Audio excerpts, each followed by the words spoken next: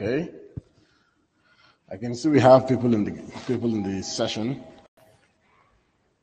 Yeah, if you can hear me, just um, type in yes in the chat box.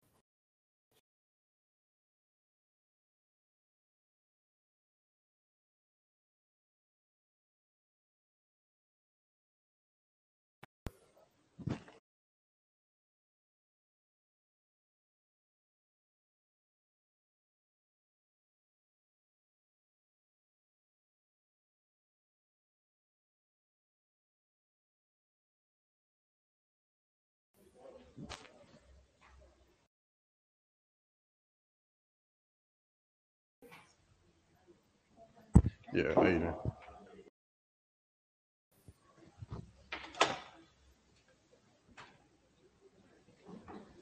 What the fuck is your still?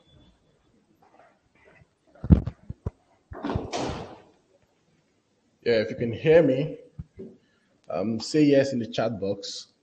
Let's wait for others to join us. It's almost time.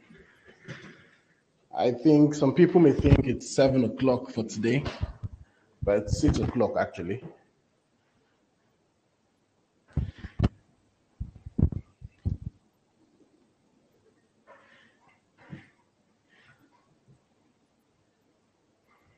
Einstein, I can see you. Okay, Akko, I can see you. It means I'm heard then. Okay, Temi, I can see you.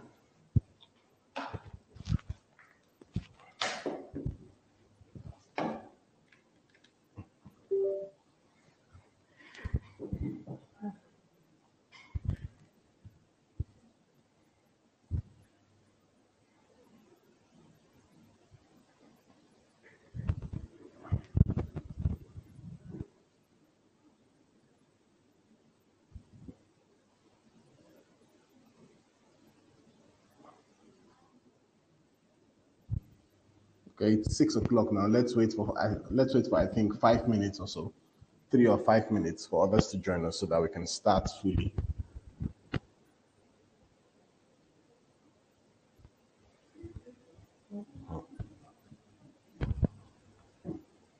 Yeah, Abdul, I can see you. I'm doing well, and how are you?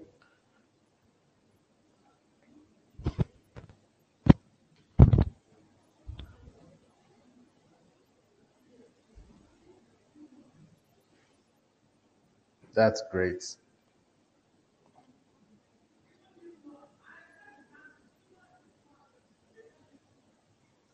Okay, we have 12 people in the session.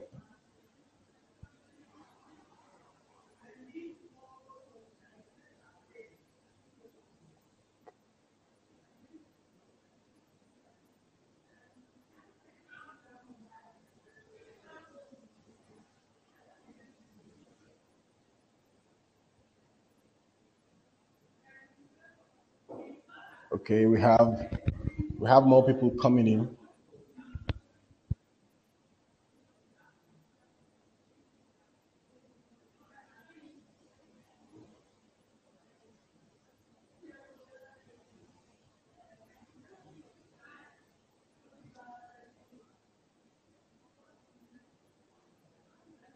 Okay, so I think um, we can just get started, and as others join us, they'll just um, start from where from where they meet us.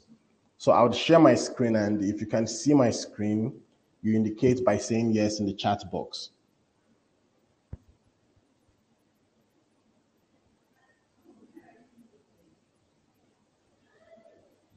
Okay, Kauta, welcome. So it means I am live and you can see my screen. So, um, welcome everyone. So today we are going to focus on just bubble. And uh, we are going to build the web application that we have designed in Figma into a working web application, a live working web application. So I'll start from scratch once more by creating a new bubble app so that um, anyone having difficulties will have that sorted. Now, take note of the steps and the action so that your results will be the same as mine and so that you can learn better. So I'll start by creating a new Bubble application. And as you all know, you have to be signed up to Bubble. After you sign up, then you log into your Bubble account so that you can be able to create a new Bubble application. So I'll come here to my Bubble, um, to my Bubble account. I would click on create a new here. When I do that, I would enter the name of the app I want to create. I would say job lesson app. You can call yours whatever you want to call it. And I would select directory listings here. Then I would answer this question Is it customer facing or internal? I would say external or customer facing. Then I would come here and I would select what's your goal with this application. I would say to start a business. Then I would click on create a new app. When I do that, I would wait for some seconds for the app to be created in Bubble.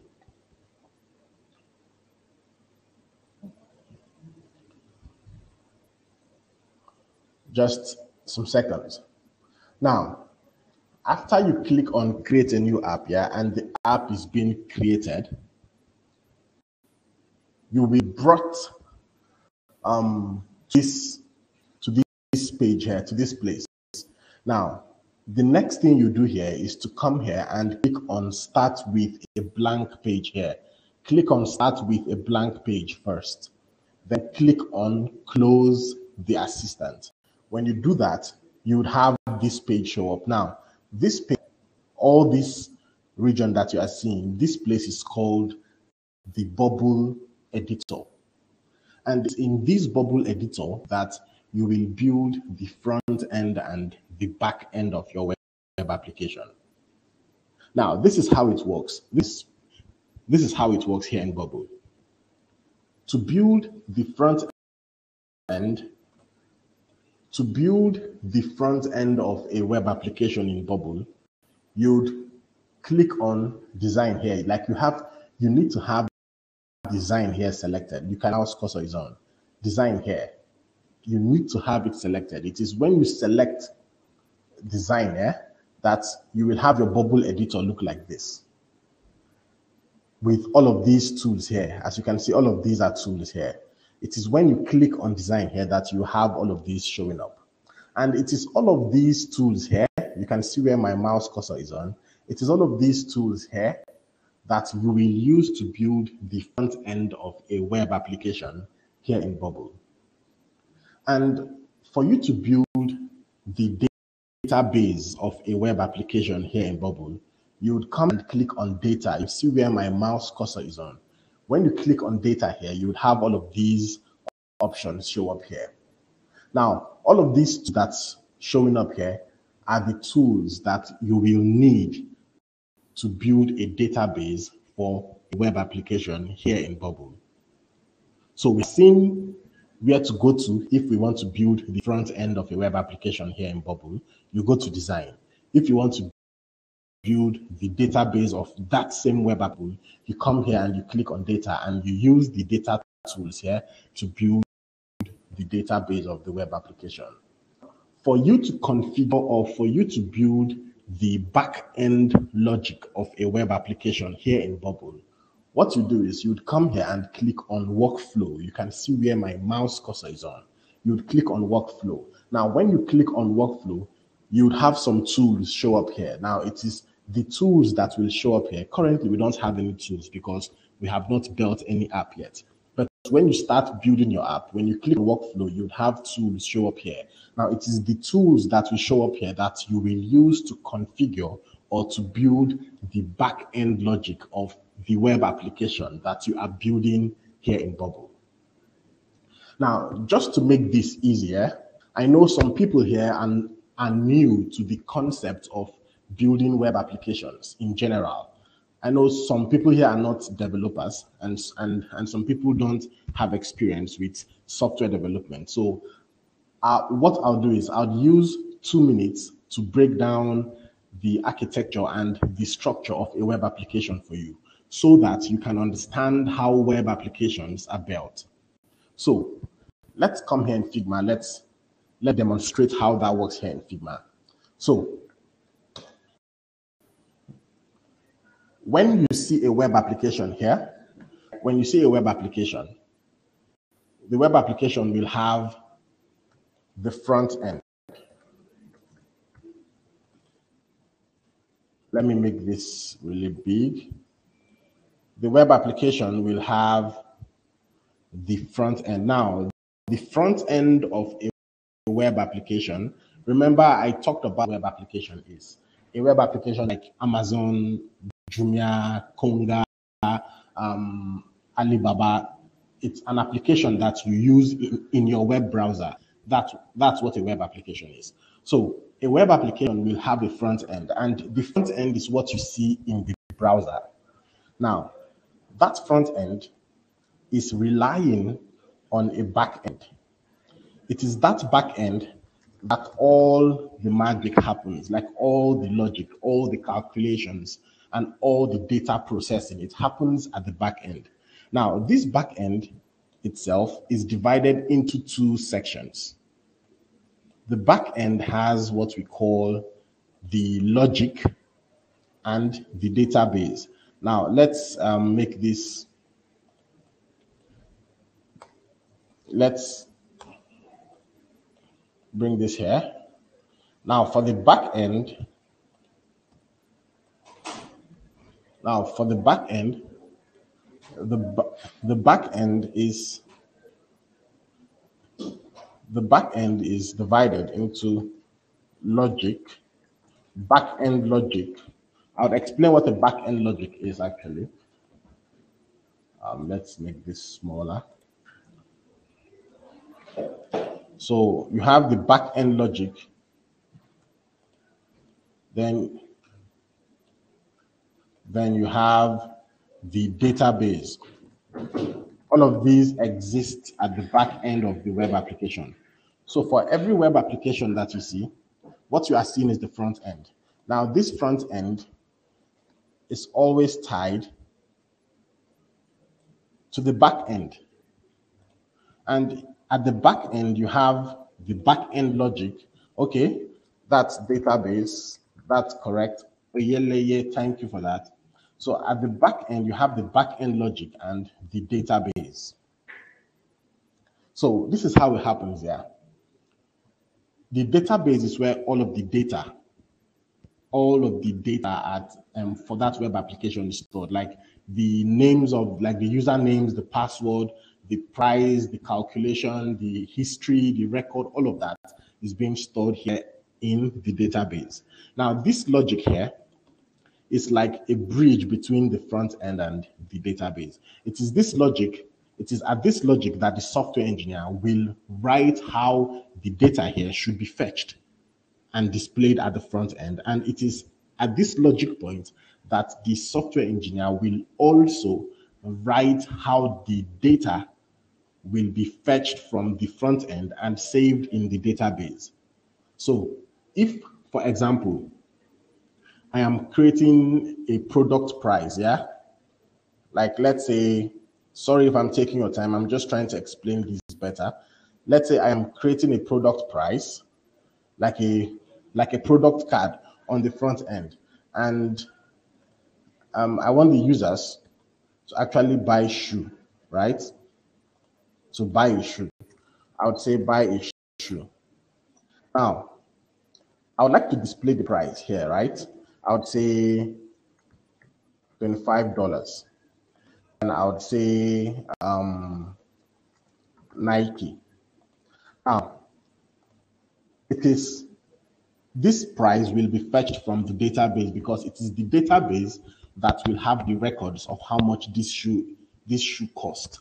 So the, this price and the shoe name will be fetched from the database, and it is at this back-end logic here that I would say when we want to fetch the first detail about the this buy shoe to the front end, just fetch only the price and the name of the shoe first. And when the users click on this buy shoe and they go to the details page of that shoe, now let them see all of these with the delivery option. Now we can now display um, free delivery. We can display tax cost. We can display insurance. Understand? We can display more details when they click on this shoe they can now see more detail. Now it is at this back end logic that you okay, fine. Fetch it like this, fetch so and so data, display it on the front end. When the user is on the second page, fetch another another type of data and display it on that page for the user. And it is and it is at this back end logic. Now take note, all of these data are being fetched from the database, right? But it is still at the same logic point that I would say, okay, on the front end, when the users want to sign in, they should sign in with their username and password. Now, at this backend logic, the software engineer will will write a code that will only fetch or that will only recognize username and password when the user wants to log in.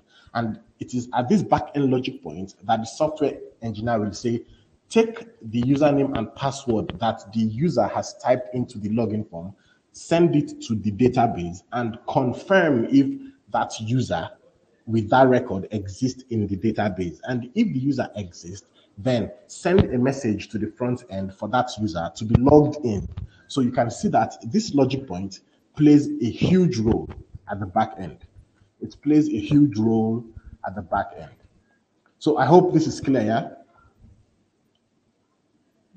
If it's clear, uh, you, you, you can just say yes in the chat box. Okay, then. So, this front end of a web application, if you want to build a web application in Bubble, this front end, you will build it with this design section here. You click on design here and use all of this section to build the front end. This logic here that is controlling how things happen, yeah, between the front and the back. If you want to design a logic for your web application, you will come here in Bubble and you will use this workflow tab here to design the backend logic. And if you want to design your database where your data will be stored, you will come here in Bubble and you would use this data section here to do that. So I hope that's clear. Design is front end, workflow is back end logic, and data is database. So I, I believe that's clear to everyone. So now that we understand, um, now that we understand how web applications are built, yeah, let's start with building the front end of our own web application that we have designed in Figma. This web application here. Actually, I did not have time to build or to design the high fidelity screens. We are going to use the low fidelity screens. If you have designed the high screens completely. You share it in the chat box for others to open and bet we are going to use the little high fidelity and all of these low fidelities to come up with our app. So this is the app that we are going, this is the design that we are going to build into a live web application. Now, first things, come here in Bubble, make sure you click on design. Make sure you are on the design um, section here in Bubble because it is with this design section that we will build the front end. So let's work on the front end first. Now, for you to know that design is selected or workflow is selected or, or, is, or data is selected, when design is selected, you will see that it is blue. The icon is blue, but these ones are not blue. If I select workflow, you see that workflow is now blue. The icon of workflow is now blue and others are not blue. So keep design selected. Now, when you select design, the next thing will be to start the building of the front end, which we want to start doing now. So when you want to start building the front end of the web application, we are going to build the home page first. This is our home page. Now, this is called the home page. Now, this is called the home page because this is like the first page that the user will come to when they visit our web application in the browser. So that's why it is called the home page. Most times in development, it is called the index page. It is called the index page. Index. That's what's called professionally in development. So, but we all know it as home page. So we are going to so to build this homepage, to build this homepage of our web application, we are going to need a layout here in Bubble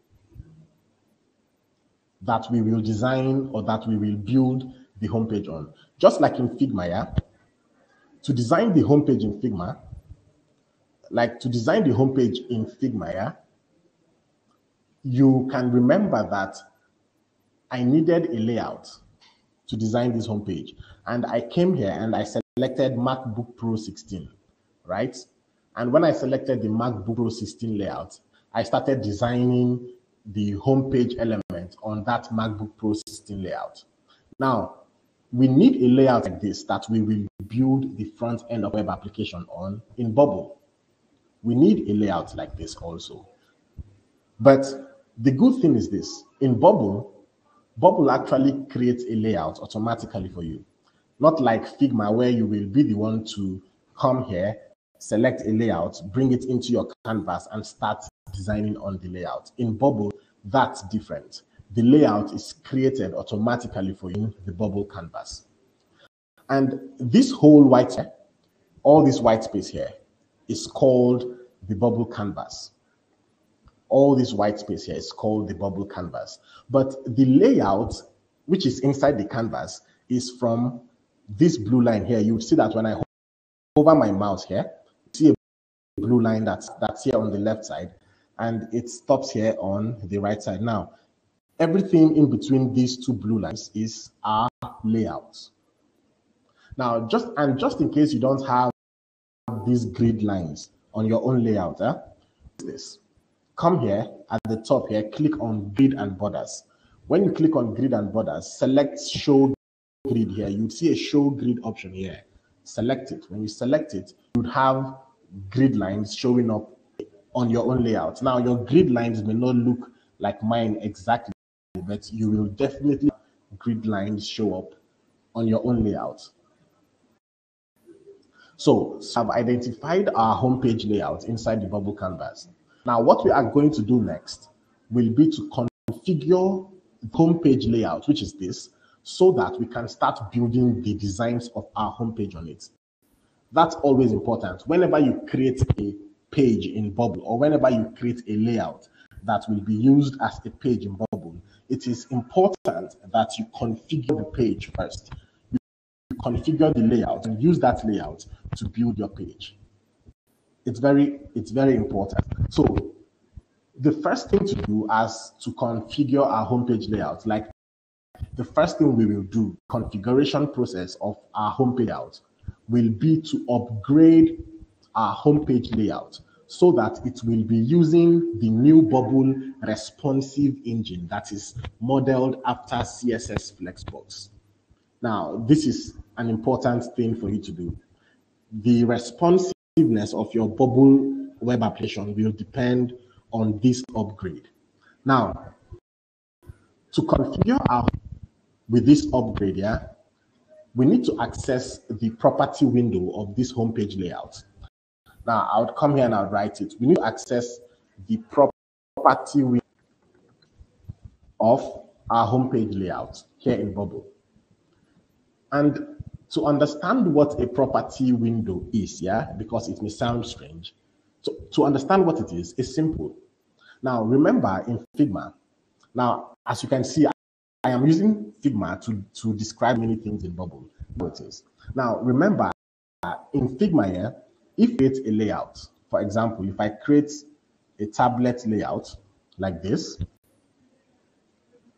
and I want to, let's say, configure the layout to have a blue layer, it means that what I'll do, I'll keep the layout selected like this, come here in the property panel of Figma on this right side here, and I'll use the color property here to change the layout color to blue, right? That's how to do it in Figma, right? Now, in Bubble here, you'd see that we don't have a property panel on the right side here that we can figure our own layout, which we have here, or any object we have here in our canvas. We don't have a property panel here to use.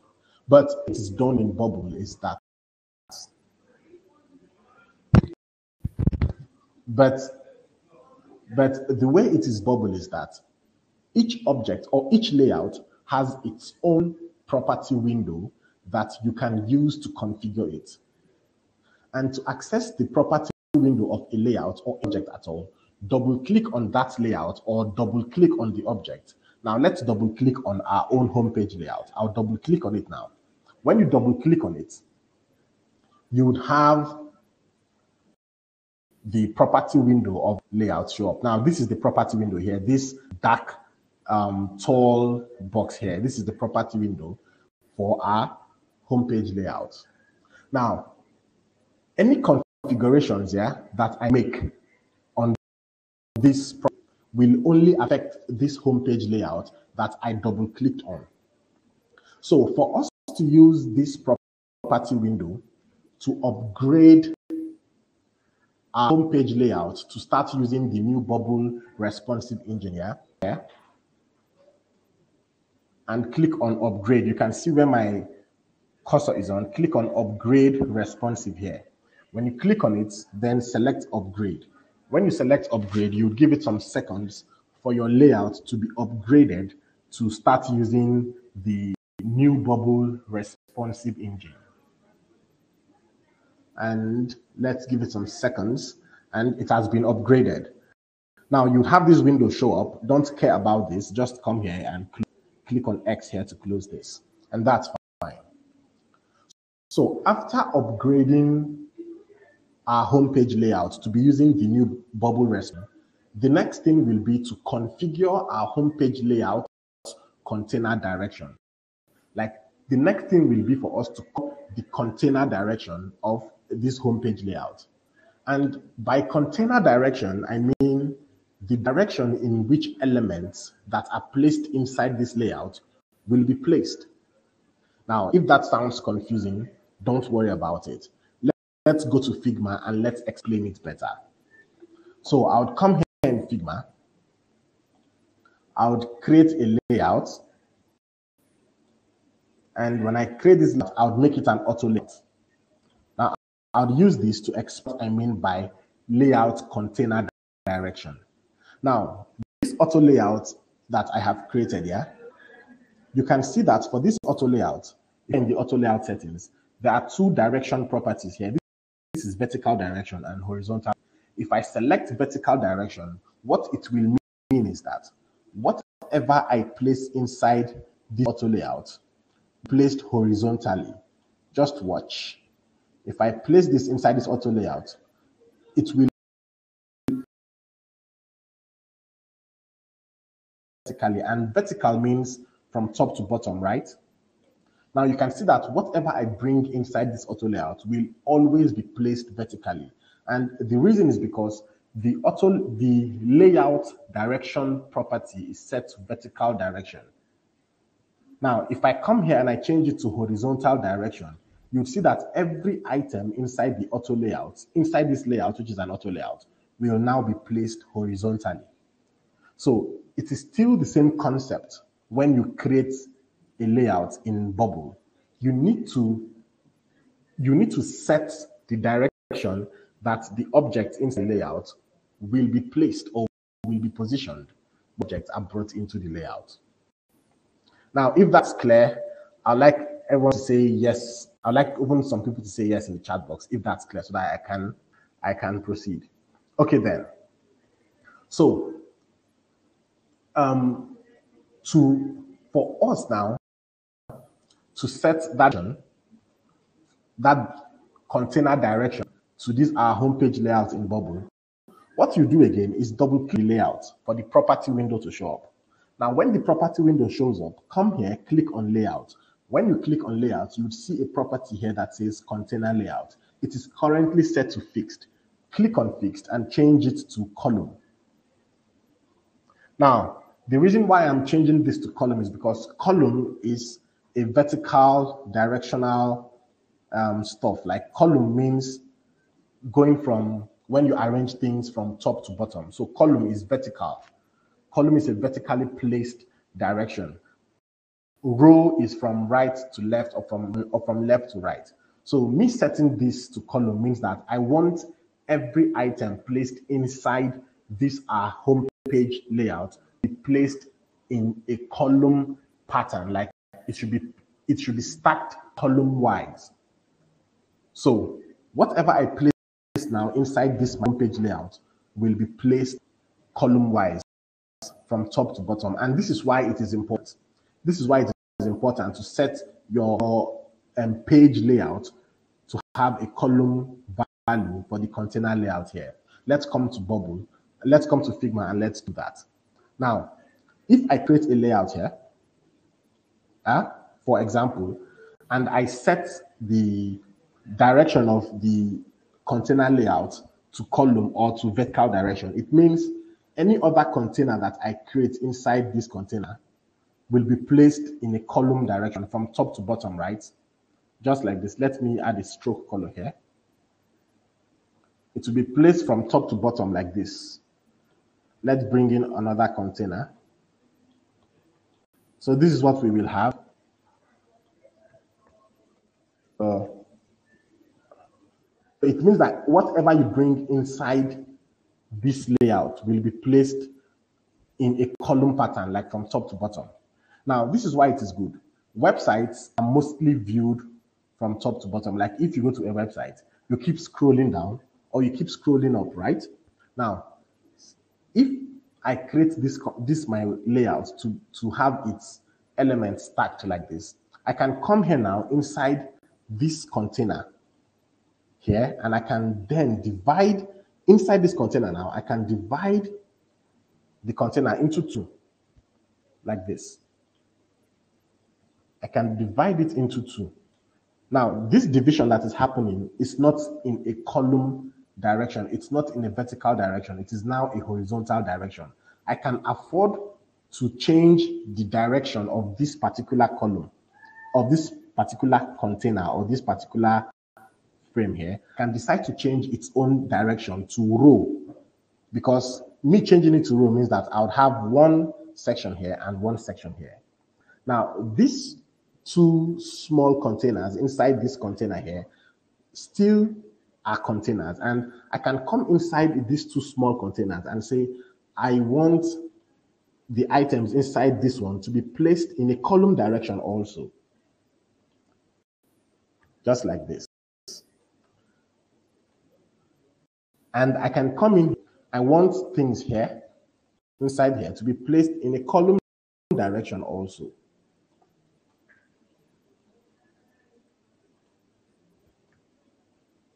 So you can see that why this is possible is because the first frame, remember I mentioned in a previous class that layouts are containers, like layouts are containers themselves. So this frame here, this frame seven is our parent container, like it is the main container that contains every other frames and every other containers inside of it. Now, this is our layout. Frame seven is the layout me setting it to have a vertical direction for its for its elements means that I was able to place this major container at the top here, place this at the bottom, place this at the bottom. I have been able to divide the layout space vertically. Now, inside all of this division that I created, I can come in there and then divide them and start placing things anyhow horizontally or vertically just the, just the way I want. Now, when I am done, it means that I am done creating this section. I can come down here and do another direction. come down here and create another direction. As I keep doing it like that, you will see that when you are done, you would have a full website structure where you can place elements anywhere at all. So that's how websites are actually built behind the scene. That's how websites are built behind the scene. So if this is clear, I would like everyone to tell me that it's clear so that I can proceed. If it's not clear, you ask questions so that, okay. Now, the next thing, so after setting this to column here, the next thing to do here for this our layout here in bubble will be to set the width, which is the wideness, the width and the height of our homepage layout. Now to set the now to set the width, come here, it is set to 1080. I would set this to 1200. When you type in 1200 there, press the enter key on your keyboard to have it saved. Then I would come here and I would set height to any number at all. I can set it to 1000 to 2000, but I'll just come here, I would set it to, let's say 1000. We can increase the height later, but like I like I mentioned in the last class, the width is the most important property when you are designing a responsive web page. So I would set this to 1000 and that's okay. So what we have done so far is, what we have done so far is we have configured our layout. We have upgraded it to use the current bubble responsive engine set the container layout property to column, set the height and set the width. It means that we are ready to build the or the front end of the homepage on this our homepage layout here. So before we do that, I'd like to let you know that um, whatever that you see that is being placed on a website is data. Like if I come here now and I come to this website, whatever that we see on this website is information. Okay, the website is loading. Okay. So whatever you are seeing here is data. Is data or information, anyhow you want to call it. Now, on our homepage here, all of these that we have here are data, different types of data, different type of information that we are displaying for users of our web application to see and make use of, right? Now, but the thing is, when you are building a web application here, there are three types of, there are three major types of data that you will deal with when you are building a web application. And these three types of, these three major types of data are static data, I would write this static data, dynamic data, and input data. These are the three major types of data that you would come across when you are building a web application. Whether it is with Bubble or whether it is with JavaScript, you would always come across these three major types of data anywhere. I'd like us to understand what static data is and how to identify static data on a web application when we see one. And I would like us to know what dynamic data is and how to identify a dynamic data on a web application when we see one. And also, we are going to talk about the input data. Now, static data on web application, yeah, or on even a mobile app. Static data is the type of data that that is not affected by any concurrent factor. It is not affected by any real-time factor. Like if I come to this website, you see this text that says where the world builds software. If you come to the website next year, it's still going to be where the world builds software. If I come here next week, it will be this, except GitHub as a company change manually. You get. But if I go to a weather app, yeah, if I come to this weather app here, I'm just taking for example, Okay, it's taking time to load. Can you guys still hear me?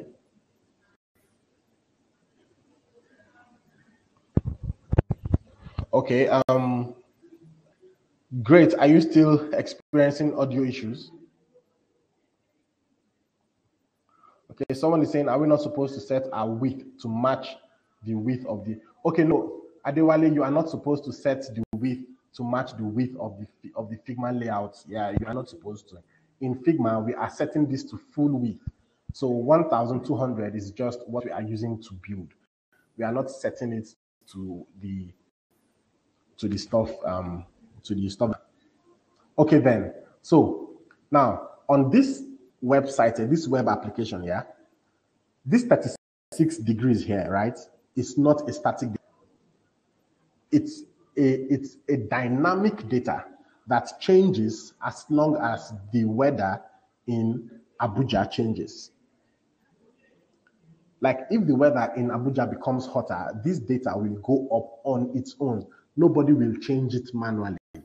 If the weather comes colder, this data here, this number will reduce on its own without anybody changing it manually. You see this data here, like even on this website, you see this data here, which is the logo that says the weather channel. It is static. It is always going to be there as the weather channel. If it has to change, it means the company that owns this web application will have to manually change it by themselves. But data like this is dynamic. Now, if you go to Twitter, yeah, for example, the data on Twitter is dynamically gotten.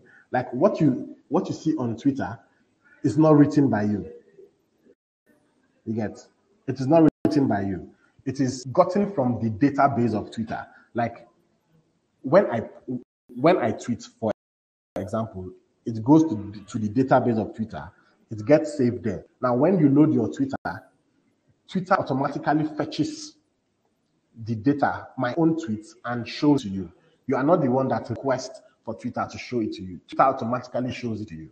So such data is not a static data. It is such data is a dynamic data.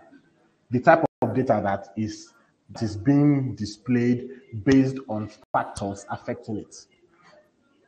But static data, but static data is just there. You put it there by yourself, take it out there by yourself. Now let's talk about input data. Input data is like when you want to type in your username. It is any data you yourself have to input into a web application. Like when you have to input your username, your date of birth, and, and all of that, that is input data. You are inputting that type of data. And so many web applications have it. Like you can see here, I would have to input my email address to sign up for GitHub. Now, whatever I input here is an input data. It's a data that I had to input. So most web applications are built around static data because, of course, you need static data to sell some type of information. Like GitHub needs this here to sell their brand.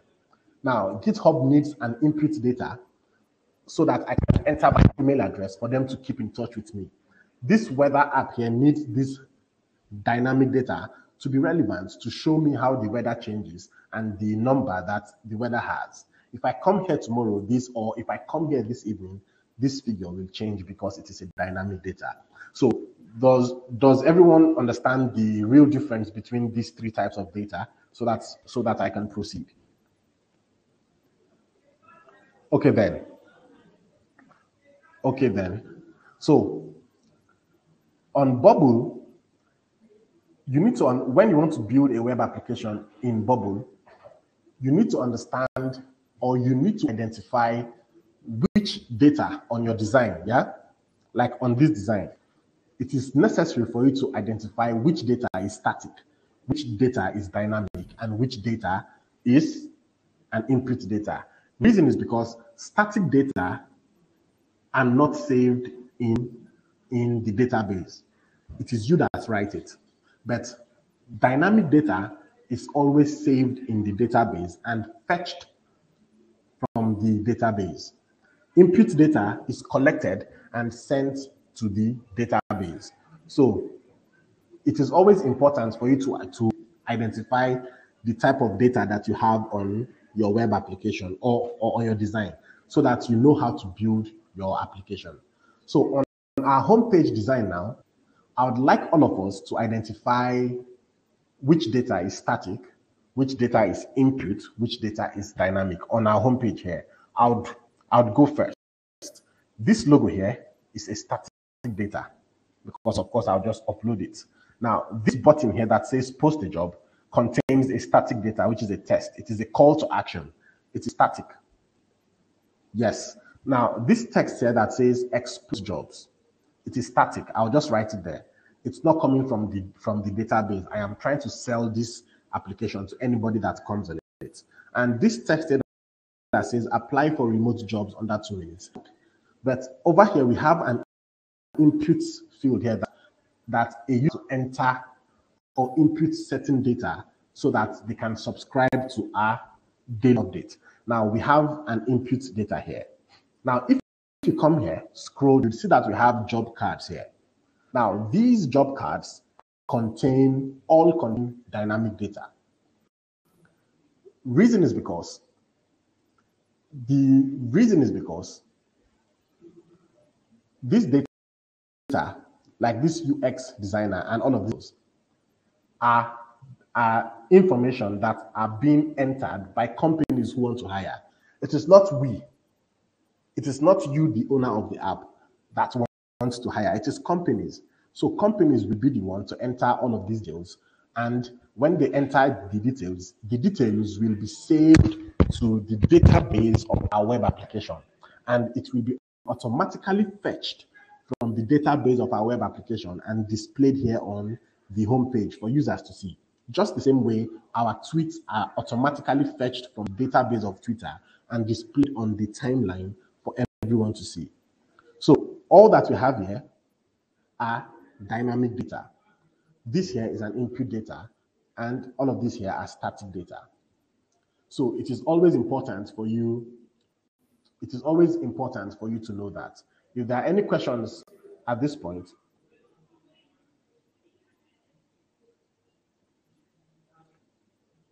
if there's okay so if there are any questions at this point i would like to take them before i proceed so that we can i am i'm trying to explain the core so that when i start putting the databases together and the back end flow won't have any issues at all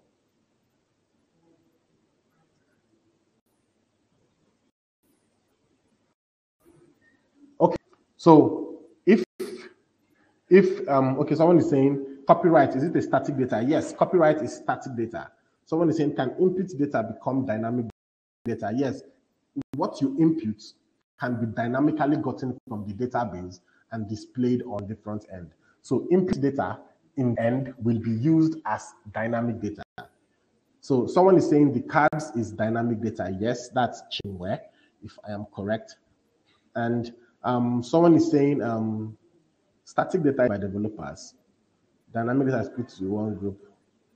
I don't understand. Olasupo, you say um, static data is put by use. Did, okay, dynamic. I, I I don't understand your um, question correctly. So, okay, static data is put by us developers. Dynamic data is input by one group of users. Input data is input by the end. Correct. So that's good. That's good. Olasupo. Um, what I want us to do now is for us to build. Let's start building. Actually, everyone is ready for us to start building. Or you want me to explain?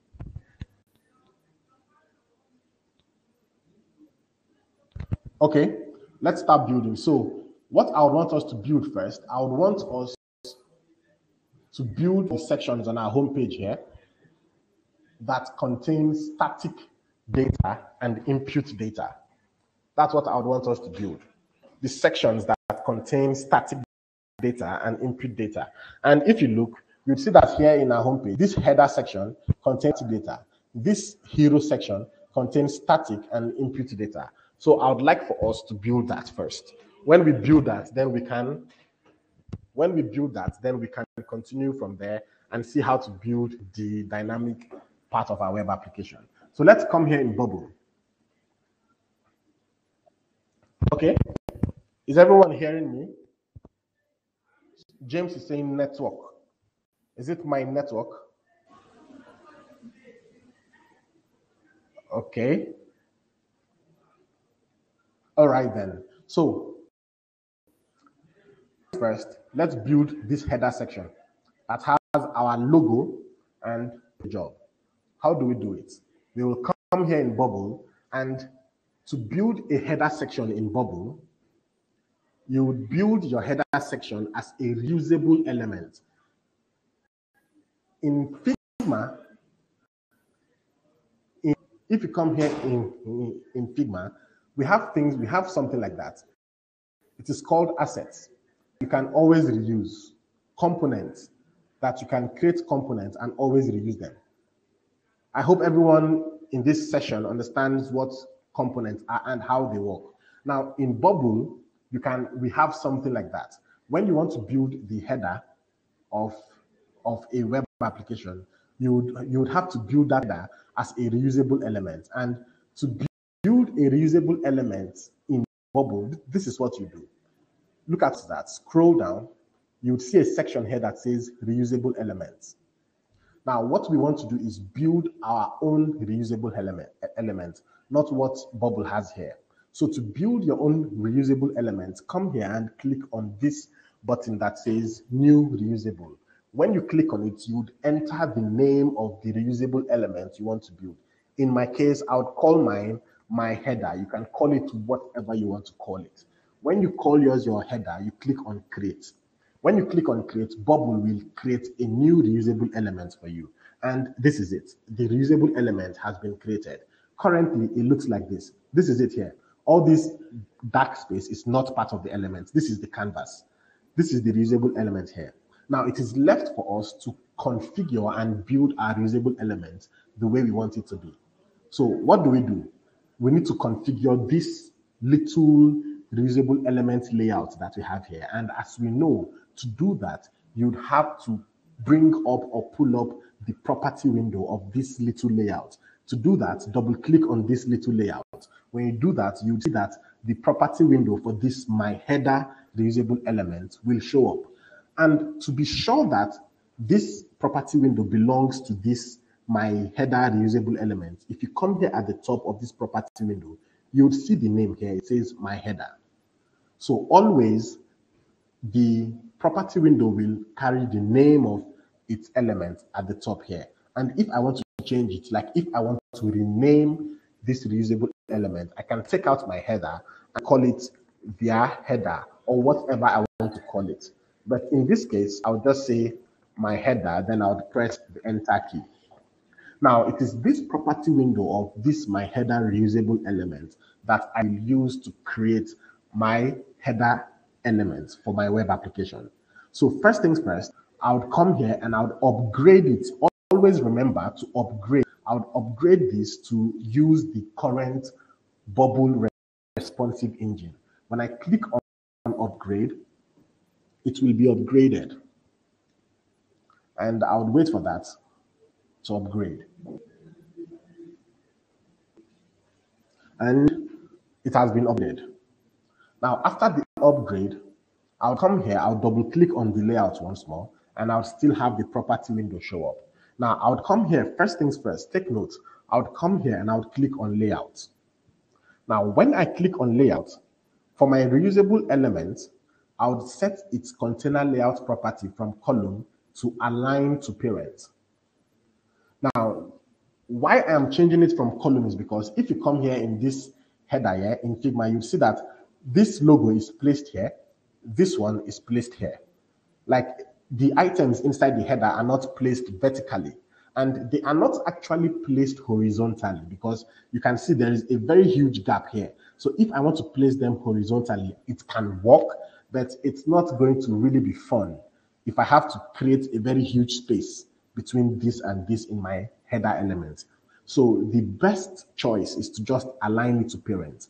Now, aligning to parent means place whatever you will place inside this reusable element um, this reusable element here will stay the way you want it to stay inside that inside that re reusable element. If you place it on the right side, it, it will stay on the right side. If you place it on the left side, it will stay on the left side. Wherever you place it, you will be able to configure it to stay wherever you want it to stay inside reusable elements. And that's why I set this to align to parents. Now, I'd advise you can be jotting this down so that you can practice this later on your own.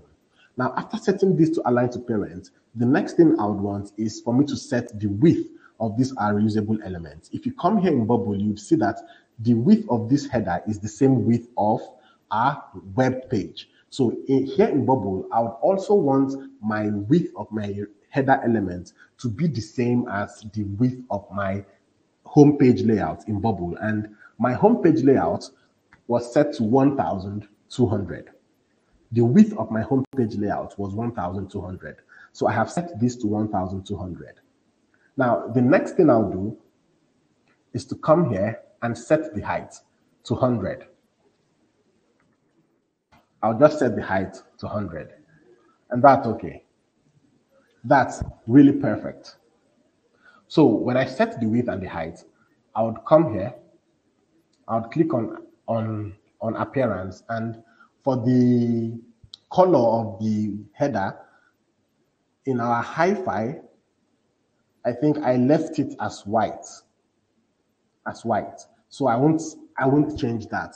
I'll just leave the color set to this. But if you want to change the color of your own header element, come here, you see a color here, a color property here. It's just like Figma. Click on it and you change the color to whichever color you want to change it to. But in this case, I'll leave it set to white and that's okay. So inside our, inside our header, we have the logo here. We are supposed to have the logo here and we are supposed to have our um, post a job button here. Now, this is where you start honoring. I think someone asked that question.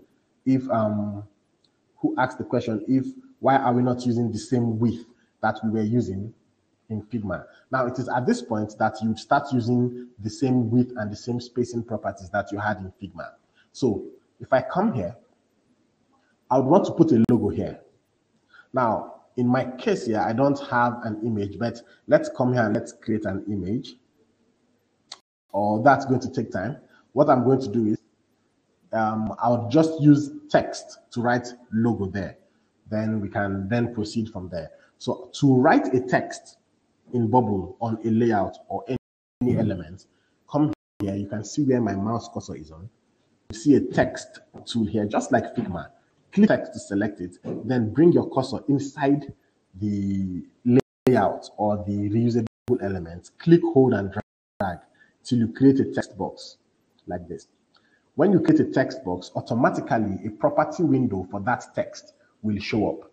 Now you can see the name of this property window is text A. I can change the name to my logo, just like this. So I can change the name here to my logo, just like this. Now, the next thing will be, how do I change the content of this text or the value of this text that I have created? Because currently it is showing edit me. That's what we have here. In, in, in Bubble, to do that, when you create a text, you would have this little box here. It's called Rich Text Editor. Click inside of it.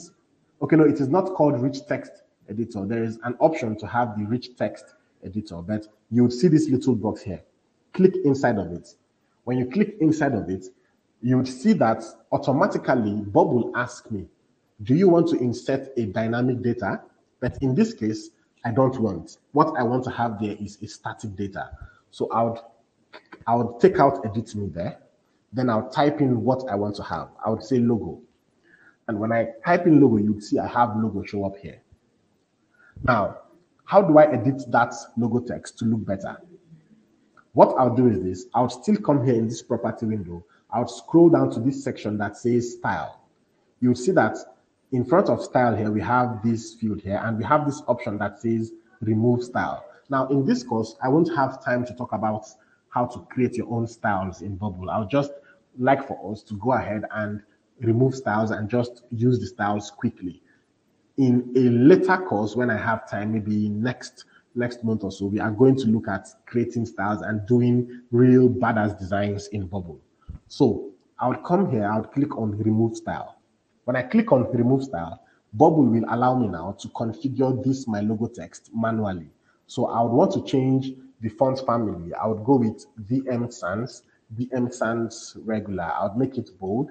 Then I would like the color of the text to be absolutely black. Then I would like the size to be 16 or 18. 18 is okay. Then for the letter spacing, I'd like this to be set to one. Then that's going to be okay for now. That's going to be okay. And that's it. I have designed the text how I want the text to be. Now, if you look at the text, the text is staying at the top of the text box. So to change that, I would scroll down here in the property window.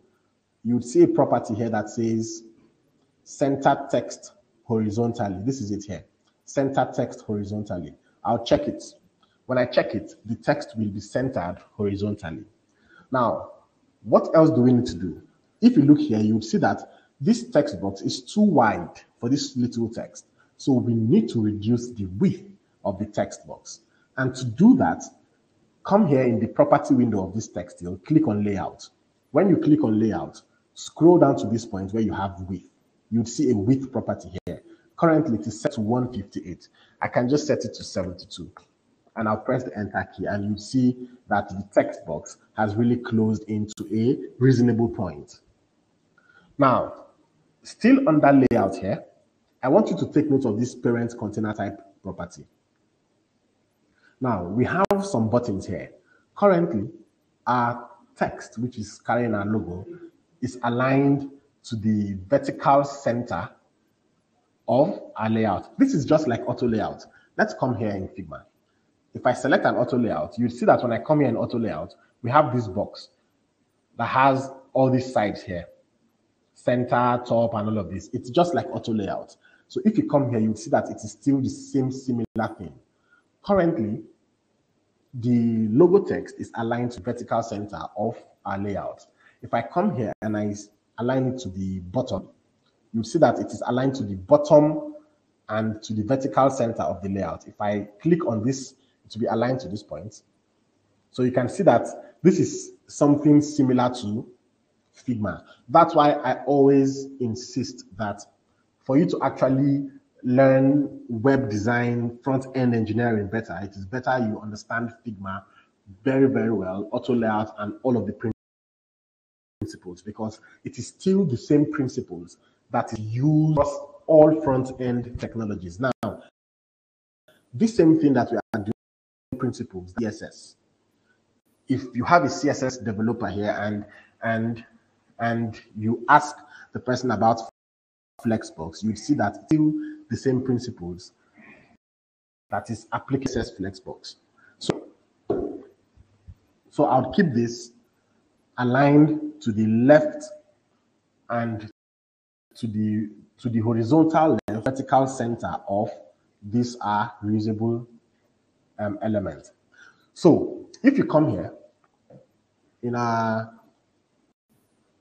in a Figma design, you see that the logo text stays at this position. There's a 120 margin, 120 pixel margin space on the left side before we have the logo. How do we achieve that here? What I'll do is this. I'll scroll down to this point. I am in the bottom where we have we have margin property bottom left. I would set the property for the left to 120 and it's 20 always. So how easy this is. Now, don't do this. Oh. Simple as that. Because is to create the post a button that that we will have here. I would come here to create a button in Bubble. It's easy. The button you can see where my mouse cursor is on. When you click, come here, draw that you has been created. Now, now if you are satisfied with the button, come here in the button property window, click on layer, come here and set the button. I'll, I like to 42.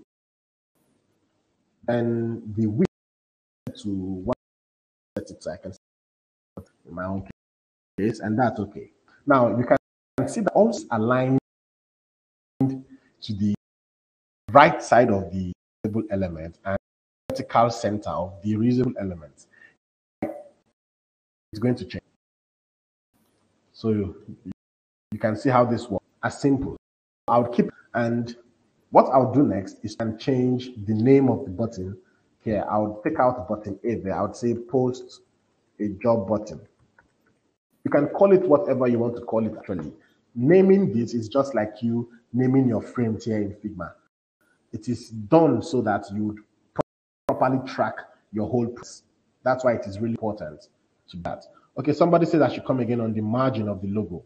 Now, the margin, the logo here, if I click on it, this is the property window. If I margin left property of 120 pixels for the logo, it means that a space between the logo on the left side will be created between the logo and the end of this reusable element. That's why, as you can see, if I keep my mouse on top of this section here, you have 120 pixels showing.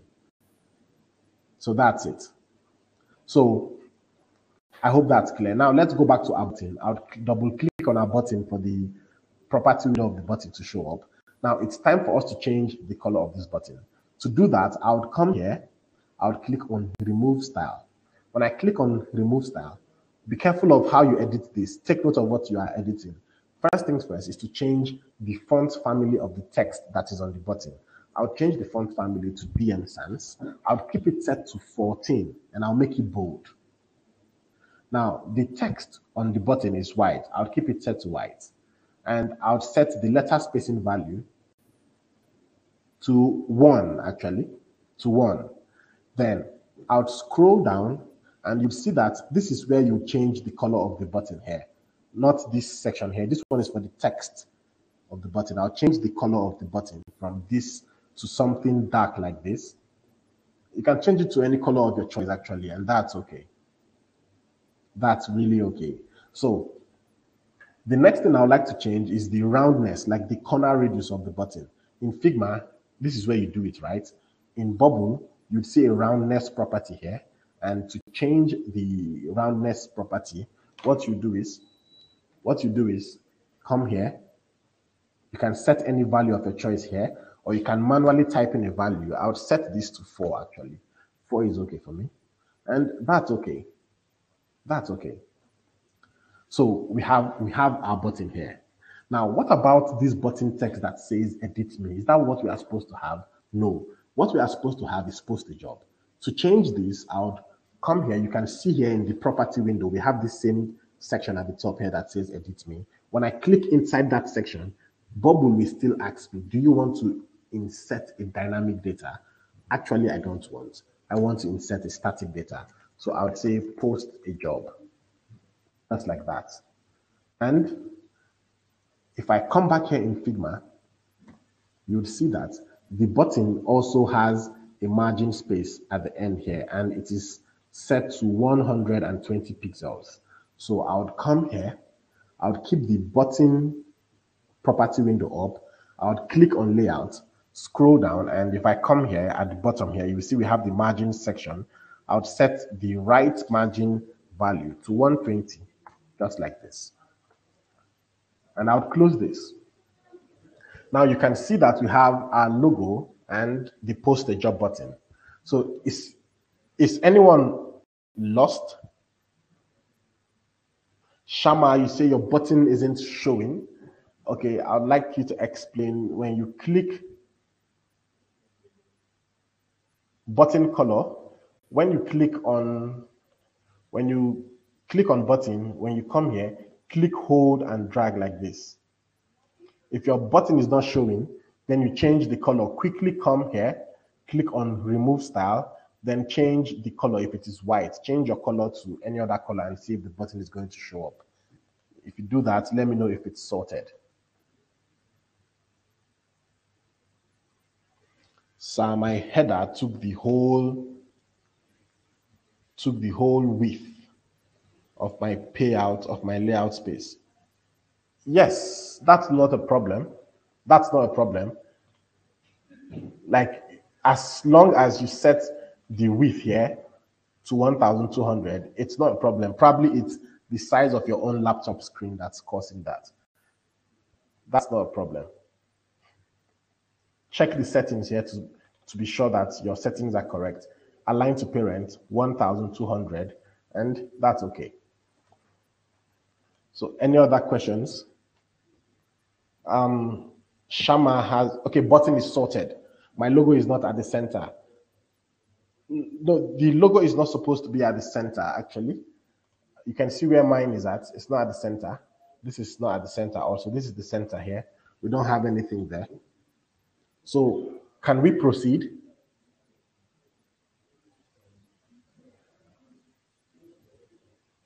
Okay then. Okay then. So, so when you create your reusable element like this, like the header, it is always important in Fig in Bubble to check how it will look like on all devices. Remember, it is supposed to be a responsive design. So it is important to check how it will look like when you want to preview it on other devices. And in Bubble, to check that, you see a responsive tab here. Now take note, we are still in the design section. Don't change, don't go out of this section. Come here, click on responsive here. See where my mouse cursor is on. We have UI builder and we have responsive here. Now, when you click on responsive, you'd be taken to this section.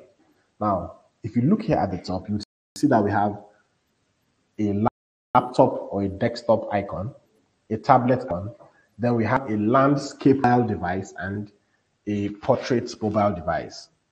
So currently, this is selected. It means that this is how your header will look like on a laptop or a desktop. If I select this, it means that this is how this header will look like on a tablet.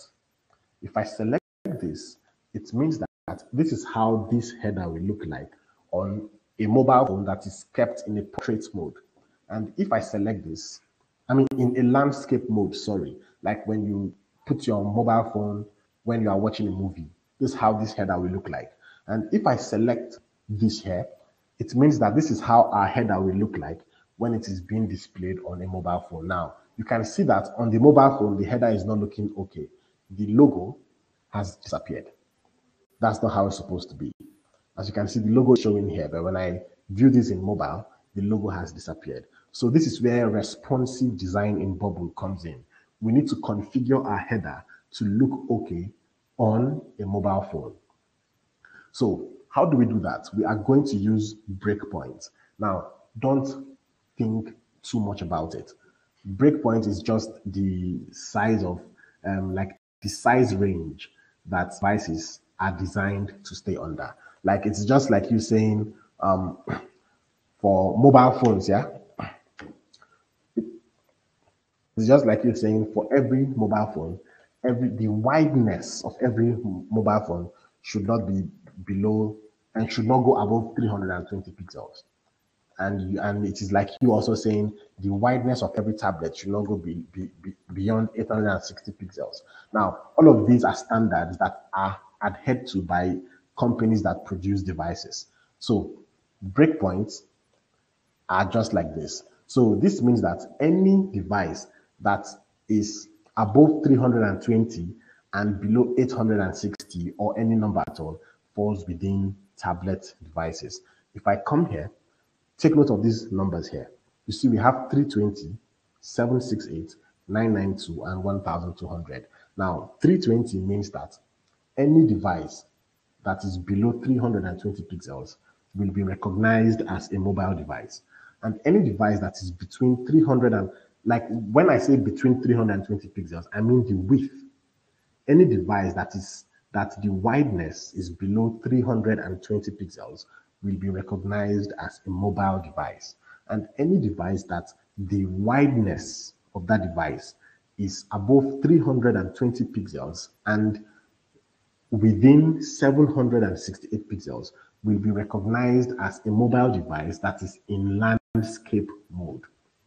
And you and you'd you'd believe me that there are some mini tablets that are like your mobile phone when you slant your mobile phone. So mini tablets are as wide as your mobile phone when you slant it. So all those devices will be will be recognized under this region.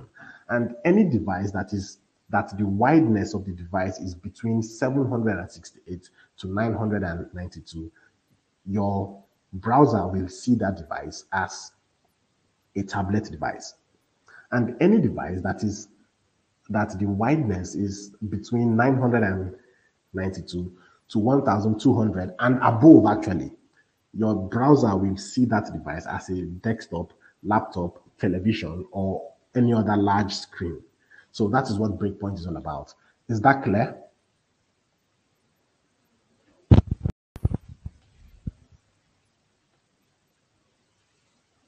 okay um nuruddin can you still hear me if you can hear me say yes is everyone hearing me?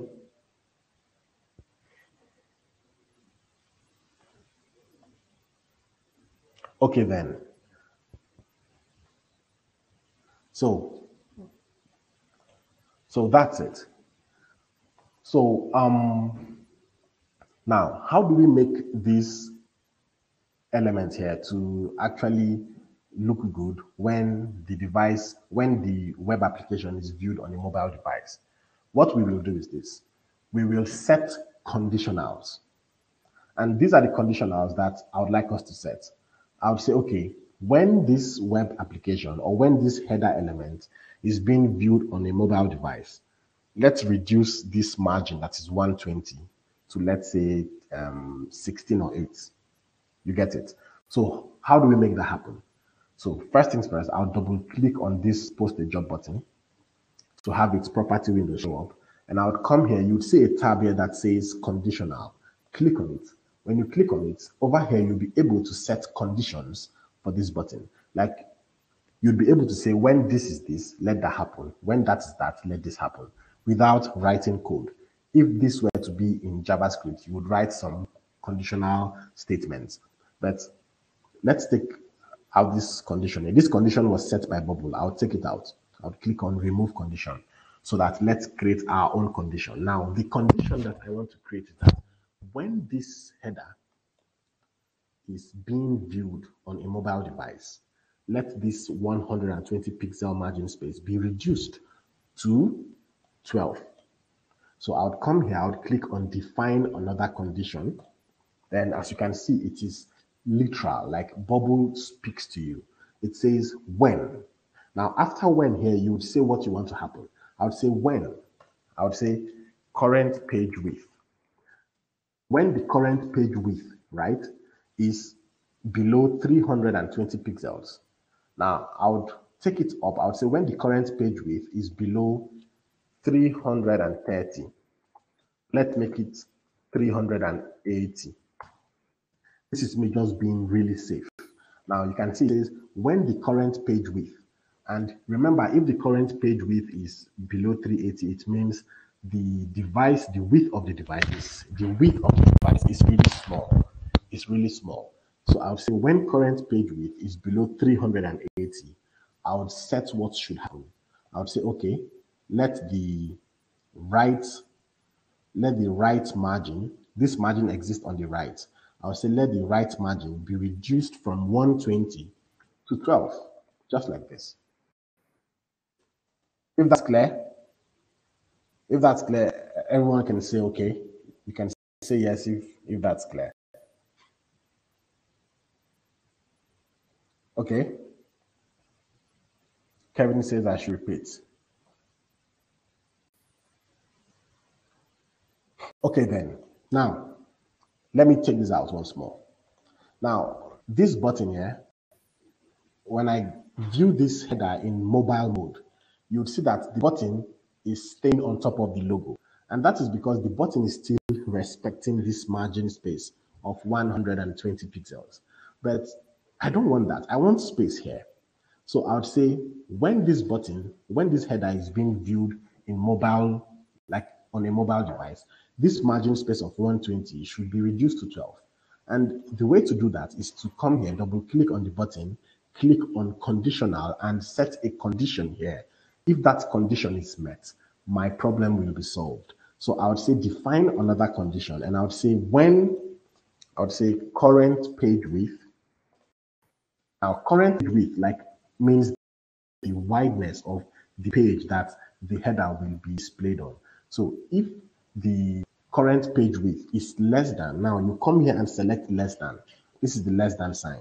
You say if the current page width is less than 380,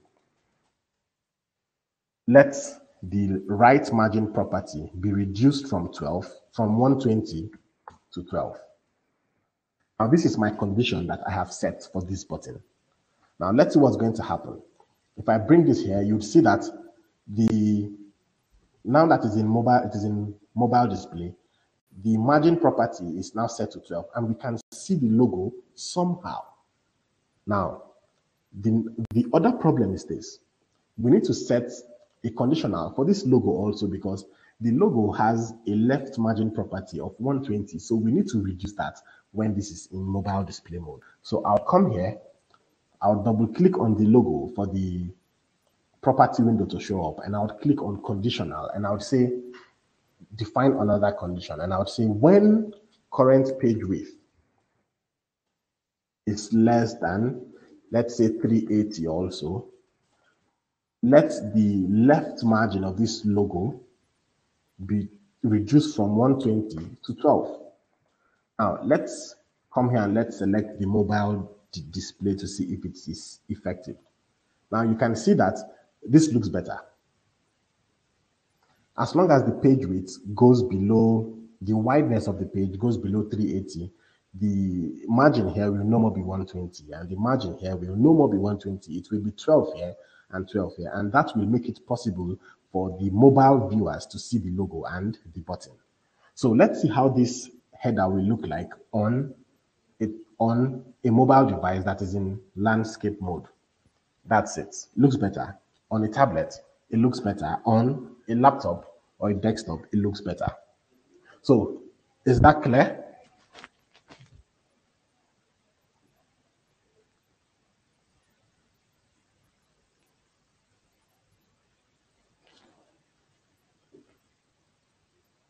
Okay, um, Temi says I still have issues creating the header. So um, tell me, you can explain the issues better.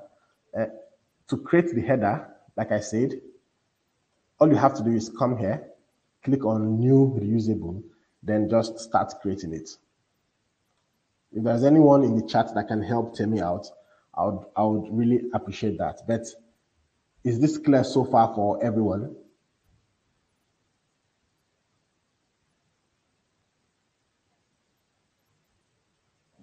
Okay, then let's proceed. So I have been able to create a, a responsive header that will be okay on all devices. Now, these conditionals are not limit, are not limited. Like what you can do with it, it's not limited. I can come here and say, when the current page width is below 380, I can define another condition. I can say when this is this, when that, when that, just something like that. And I can also say when it is below 380, let's reduce the width of this button from the width of the button from 148 to let's make it um, 120. You'll see that when I view this in mobile mode, the button will be smaller in wideness. So you can use that conditional to actually play around with how your elements are displayed on different devices. All you need to know is these breakpoint values. Like if I say when my let's set a let's set a conditional for the 768 breakpoint. Currently, this is how it looks like, yeah? The margin is still 120 pixels here and 120 pixels here. Now I can say for this button, let's create another conditional. I'll say when current page width is is 768. Let the right margin of the button be 24. And you'd see that it is it has adjusted to 24. If I click on 768, check this distance. If I click on 768, the distance has closed in. It is now 24 pixels. And I can do that here also. Let's do that to have some harmony there.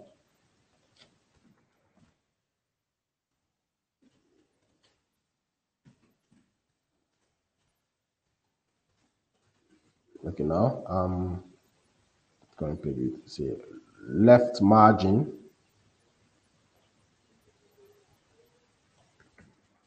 and that's okay. So you can see that this is device friendly. Every device is looking good. So if you have any questions, every device is looking good. Now, come back here and click on UI Builder to go back to this section here. If you have any questions, say it in the chat.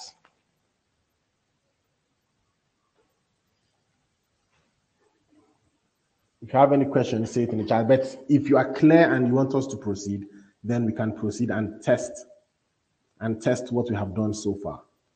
Now, for the responsiveness, great. Don't worry yourself too much about it. You can you can replay it later and get to know what's and and get to know how to handle it. So I only have one person telling me to to proceed. Is everyone clear? Okay. Jessica. Okay. Chat with Miriam. I'm only clear on the conditional. Don't worry. When you replay the video, you would really get it. If you don't get it, then re then reach out to me. Now, the way to center your button is pretty easy. Like I said before, use this um, button here. If I click on center, you see the button is at the center. It's as simple as that. So let's then um, proceed. Now, we have built our header element. The next thing will be to put this header in our home page. Remember, this header is a reusable element. Now we need to put it on our home page so that it will belong to our home page. Just the same way, if I come here and I bring in a component, I'll need to put it on my on my home page, just the way I just the way I created this one. After I created the, the component, I brought it in and placed it on this page, right? Now we have created a component or a reusable element. Now it is time for us to put it on our home page. And to do that, let's go to our home page. So to go to a page, come here at the top, you can see where my cursor is on. Click on this, my header section there. You would see all of these options come out. Now click on index. Remember I said that index is the professional name for home page. So click on index here. When you click on index, you will be taken to the home page. And this is our home page. Now, how do we bring our reusable element, which is our header, into this home page? I would scroll down here on the left side, and you'd see that over here, I have that my reusable element called my header. That is the name that I gave to it. So I would click on it, hold it, and drag it into our home page layout like this. And it will be placed at the top automatically, just like this. Now, don't worry yourself about the way this looks. This is just that's just how it is sometimes in Bubble. You don't have to worry about that. Now, I have placed this at the home page. So what do we do next? Let's test this in the browser and see how it looks like. So to test this, come here, click on preview at the top right corner here. When you click on preview, your web page or your website will launch in the browser and you can see what you are building as you are building. You can see what you are building as you are building, just like that. So this is going to take, mine is taking some time to load. I don't know if it's my internet, but you can see how this looks now. So you, you have some buttons at the bottom here. This is the debugger tool. You can take that out. Now, I, you can take that out, not you must take that out. You can take it out to take it out, to have a cleaner page, come here in the URL. You can see where my mouse cursor is on. Come here in the URL. After the question mark, that is after test, you see debug, debug mode equal to true. Take out the debug mode. Don't take out the question mark. Select the debug mode to true. Take it out and press the enter key once more. You'll see that this debugging tool here will be taken out. Now you have a clean page just like this. Now let us see if this is responsive in the browser the same way we designed it. to be responsive in Bubble. To check if it is responsive, I would right click on the page and I would select inspect. When I select inspect, this will be toggled like this. Now you can see that the responsiveness for an iPhone SE is okay. But for an iPhone XR, the responsiveness is not okay. Now, for a Pixel 5, the responsiveness is not okay. For an iPad Air, the responsiveness is okay. For a Surface Pro, it is okay. For a Nest Hub Max, it is okay. Then for, let's look at a Samsung Galaxy. For a Samsung Galaxy, it is okay. For a Samsung Galaxy S20, it is not okay. Then for a Surface Duo, it is okay. So some devices are not okay, some devices are okay. I'm still in the component section. Okay, where is that? Index. Can you please um, explain to me?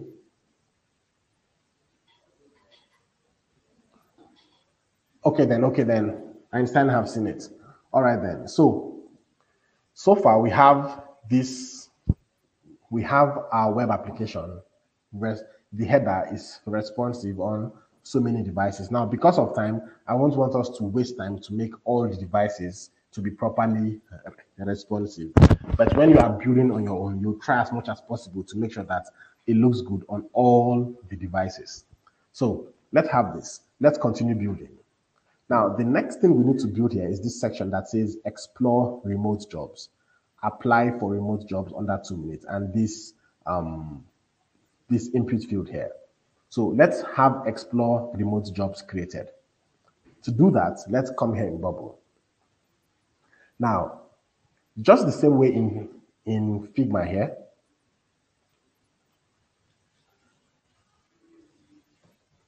that I had that container, that I had this displayed, yeah? The same way I had this display that I created container, then created containers inside the containers to properly place my elements. That's how I would come here in Bubble and I would create a container. Now to create a container in Bubble is pretty easy. Come here, you will see that we have containers section here. And in the container section here, we have so many options that you can use to create a container. The most popular one is the group option. So I would click on group to select it and I'll create and I'll use that group tool to create a group container. So click, hold, and drag till you are satisfied actually. Then leave your mouse. Now you can see that the name of this group is group A. Now I can rename it to um, hero group. You can call it whatever you want to call it. Now, renaming to hero group is the first thing. The next thing I would like to do is to ensure that this container stays, covers the whole page, just like the website itself. So I would come here, click layout here, and I'll change this container layout property from fixed to rows. Okay, I'll change it from fixed to column. Reason is because over here in our hi-fi, you would see that the items are placed in a correction. Like this is on top this is at the bottom and this here is at the bottom. So it is vertical. So i'll change this to column. Now when i set the container to have a column direction i will come here and I'll set the horizontal alignment to center just like this then the i want you to take note of something in something important which is going to be the width of this container now, currently the width is set to fixed width. I'll untick this from fixed width, and when I untick it, I'll have the option to set a minimum width value and a maximum width value. Now, minimum width is this. If I come here and I set, and this width currently in Figma is 800, right? Now, if I say the minimum width of this rectangle should be 300, it means that this rectangle can be squeezed can only be squeezed to have a 300 width value. When it gets to, to, to 300, it will not be able to squeeze anymore. That's the essence of giving a property the minimum width value. it will make sure that you are on you are unable or the container is un, unable to go be, below that minimum width value. So over here, I would say for this our group container, the minimum width should be 300. Reason I'm setting it to 300 is because all of the devices here fall under 300. Like I want that group to be able to squeeze across all of these devices, even under the mobile device. So I would set this to 300 and that's okay. Now for the maximum width, I would set the maximum width to 100%. Come here, change this to percent and type in 100 here. So I would say the minimum width for this group should be 300, which means that this group can be squeezed, the wideness can be squeezed only to 300 pixels. When it gets to 300 pixels, it will be unable to squeeze. Now, maximum width, which means it can be expanded to 100% of any device it is being displayed on. That's okay. Now, for the height, like I said, the height is always important, but I would come here and I would set it to 480, and that's okay. The height is okay.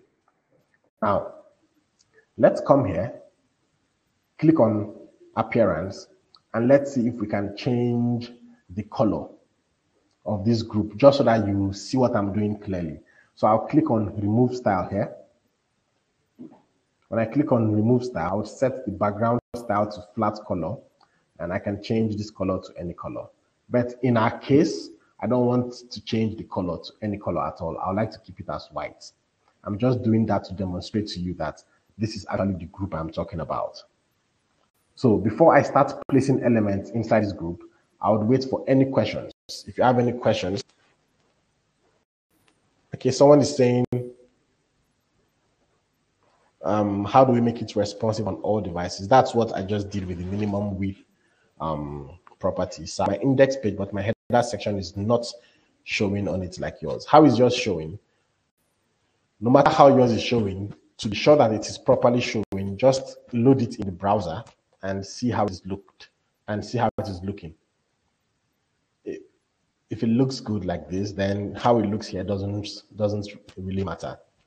The other question is, I'm also clicking on the group container and dragging, but it's not creating the box. The layout property of my container is not showing. Instead, it's showing conditional and, tran and transitions. It's not showing because you did not upgrade your home page to um, you, you did not upgrade your homepage to the current bubble responsive engine. Einstein, that, that's for you. If you do the upgrade of the page you, you are working on, you will see the the stuff showing up there. Philip say he previewed, but it's not showing. Okay, Philip, you would have to give me more time on that, and maybe you can um, um, play around with it to see if it's going to work fine. But I would but but I would like to proceed. If you have if you want us to proceed, if you have any questions, I've answered Einstein's question. It's just only Philip's um, problem that's that's not solved. If you want us to, to proceed, then you can say yes in the chat box and we can proceed. Okay, Kelvin says I should proceed. All right then. So,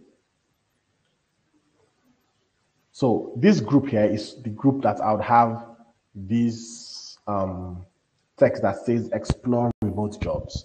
Now I'd come in here to have a text inside this group.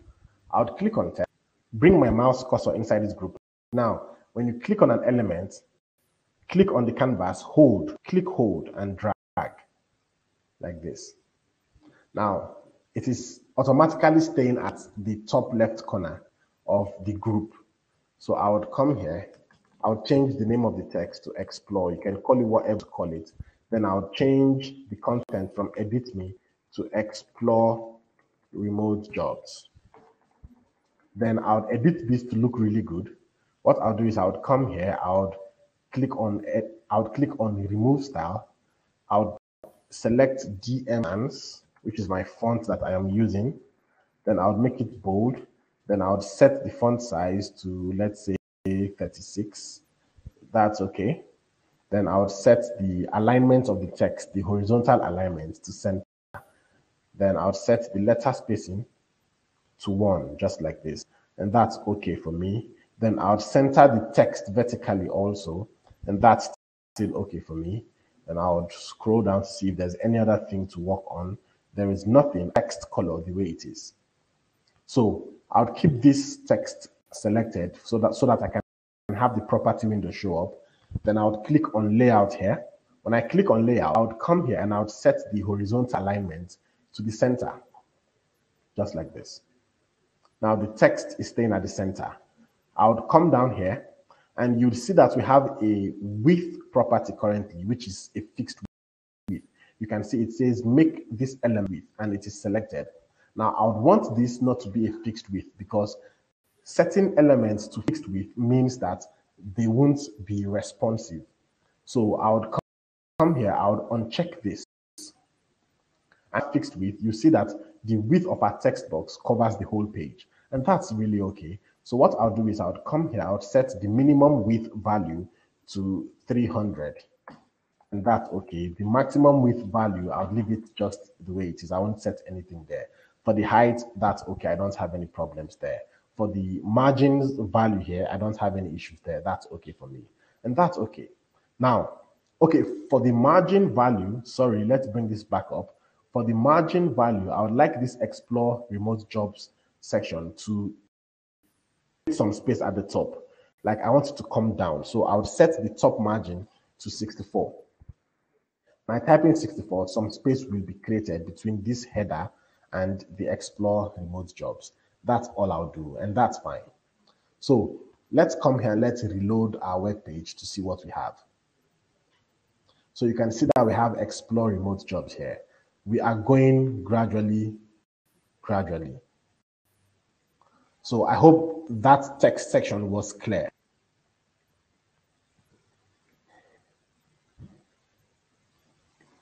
Then. So I hope that was clear. I just have answers from two people. Okay, then. So now let's test to see if this jobs is responsive. As usual, come here, click on responsive, see how it will look like on a, a on a laptop, see how it will look like on a tablet. It looks okay on a tablet. See how it will look like on a landscape mobile device. It looks okay. Then on a mobile device, you see it looks okay, but it's actually too big. So I would like the size of this text to be reducing as the wideness of the device is reducing. It's going to be awkward when um, a text looks really big on a laptop and you are looking at that text on a mobile phone and it's really big. It's going to be awkward.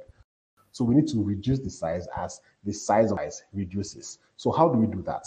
Double click on the text, come here, click on conditional, when you click on conditional, click on define another condition and when current page width is less than, you say, let's say 400, let the font size, let come and select font size. Let the font size be reduced from 36 to 24. But let's say 18 actually. Now, let's test that. Now you can see that on a mobile device now, the text, the text size has been reduced to 24. And that's okay. If I go to this side, it's increased. So you're able to set how our elements will behave based on the device that the elements is being viewed on. Okay, someone says, my text stay under the same shape, sir. James, can you explain better?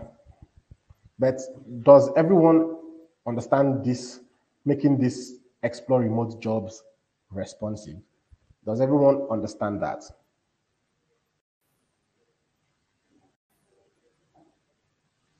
Okay, then. Let's create the next section here, which is apply for remote jobs under two minutes. So I would come here. James, you can explain better so that I can come back to you. So I would come here, I would click on the text tool once more and I would create another text here. So I would make this um, smaller And what we have here is apply for remote jobs under two minutes. So I would come here. I would say apply for remote jobs on that just like this. So I would keep it selected. I would click on remove style. Then I would change the font family to DM Sans. I would keep the size set to 16. I would align it horizontally to the center. I would change the letter spacing to have one. Then I would start the text vertically like this. Then that's okay. I would click on layout and for the fixed width, I would uncheck fixed width and I'll keep the minimum value to 300. I've explained all of this before, so it should be easy to understand. Then for the height, the height is too much. I'll just set the height to 28. Or I'll set it to 32 actually. And that's okay. So this is how it looks. If I come here and I reload this, you will see that we have apply for remote jobs under two minutes. So I would come here now and I'll test to see if this is responsive enough. I would click on responsive and when I come here on the tablet, on the laptop device, it's okay. Tablet, it's okay. Landscape mobile, it's okay. And for mobile, it looks okay still on mobile devices. I think this looks okay on mobile devices. I think we should proceed here.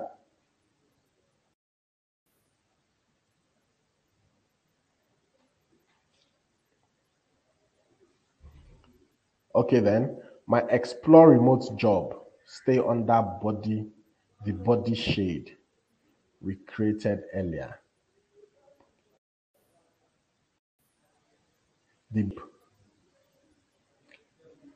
okay, my height is 32 pixels. You mean my height is 30 pixels. The body shape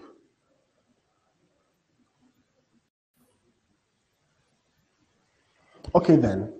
So the next thing we need to look at is to create this input field and this button. Now, I want you to take note of something. Input field and this button are staying are two different elements staying on a horizontal direction. Take note of that. There are two different elements staying horizontally, not vertically. This was staying, but this is vet this explore remote jobs is vertical this is vertical but this is staying horizontally which means we need to come here create another group inside this group. I would create another group here. And obviously the group will stay vertically.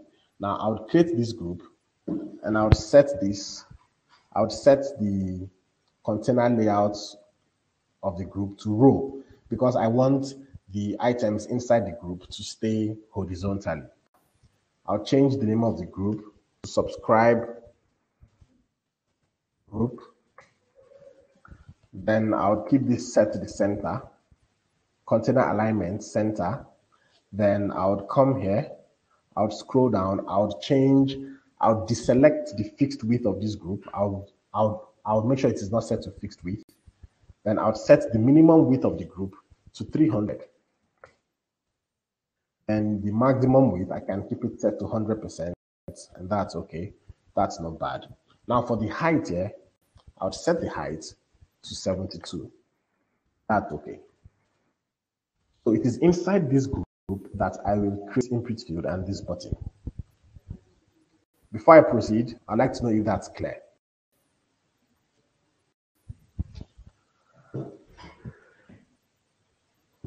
Okay then, Okay then, so now that I have created this group, let's go ahead and let's create our input field and our button. So I would come here to create an input field, come here in the bubble editor, you'll see the input form section. Click on input. When you click on it to select, come where you want to create the input field. And this is it. You just create it how, and that's it there. It has been created. So first of all, it will have type here inside. Now the placeholder will be type here. And I think we all know what placeholders. Over here, the placeholder is email address. If I start typing, the placeholder will disappear. So by default in Bubble, the placeholder, when you create an input field, type here.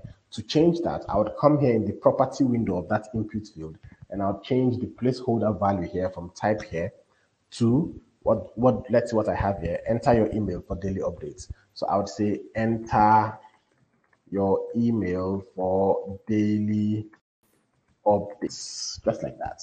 And that's it there.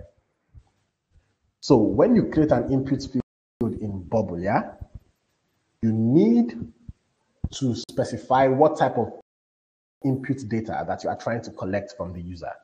Is it an email address? Is it a phone number or what or what you want to collect? So in this case, I'm trying to collect and collect an email address. So I would come here, I would set the contents format from text to email. Now, this will ensure that if the user types in anything other than an email, an error message will be displayed. So I would set this to email. Then I would come here and I would, and I would make sure that this input field will not be empty.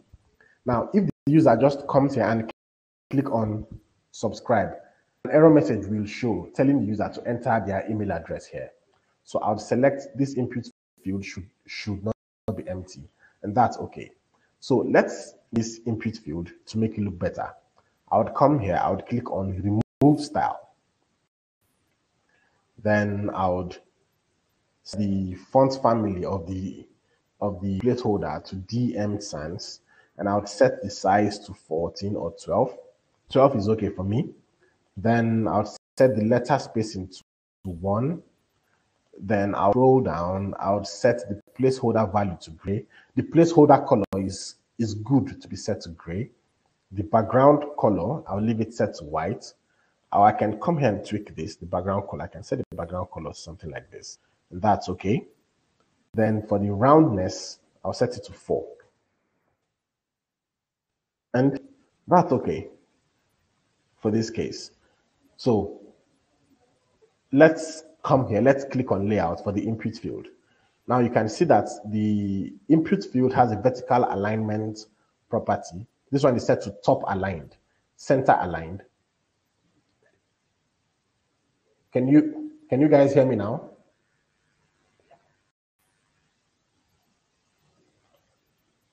Can you guys hear me? Okay, everyone. Okay, everyone can everyone hear me. So I'll change this from I'll change this from top aligned to center aligned to keep the input field aligned at the center. And that's it. That's basically it for aligning it. Now, this input field should not be set to a fixed width. Remember, I say fixed is not responsive. So I would uncheck this and I would set the minimum width of this input field to, let's say, 300. And I would set the width to 310, just like this. I think 300 is too wide. Let's set this to 240. And let's set this to 260. Okay, this size is okay, yeah? Now the height, I would set the height to 48. That's okay. Now, if you come here, you would see that Bubble automatically gives us three conditionals. And these conditionals are bad conditionals for an input field. I'll show you how it works when we load this in the browser. Let's come here, let's load our browser and let's see what we have. So you can see that we have this input field here. Now, when I hover on the input field, you would see that a certain blue line shows around the input field. That is one of the conditional that Bubble sets for us. And it's actually cool. Now, if I click inside the input field and I type, yeah, and it is not an email, the input field will become red. That is an error signal like, hey, you are supposed to type in an email. That conditional was also set automatically for us by Bubble. If you don't like it, then you take out the conditional. But I hope this is becoming clear so far.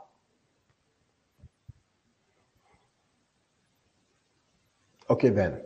So now we have created this input field. Let's create this button in Bubble. This button will be created inside this same this group here that I created for this input field. So to create that button, come here, select the button tool here, come inside that group and create your button. Just like that. Now the button will be ugly first of all. Let's change the text of the button to subscribe. Remove style. Let's change the font family of the text, DM Sans. Let's make the text button to be 14. Let's make it bold. Then for the color of the button, let's come here in Figma. Let's grab this color.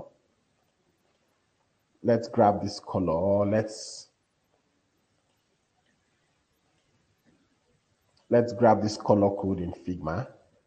I would come here for the color of the button. I would paste this color code just like that, and that's fine. Then for the letter spacing, that's okay. So I would come here, I would click on layout for the button, align the button vertically to the center to stay here like this.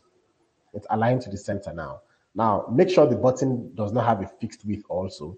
Currently, it has a width of 176. I would come here, I would change the minimum width value to 120 and the maximum width value to 126, just like that. And that's fine. You can choose any size of your choice. Now the height, I would set the height to 48 so that it can have the same height as the input field. Now, if you see here, there is no space between the input field and the button. How do we get that sorted?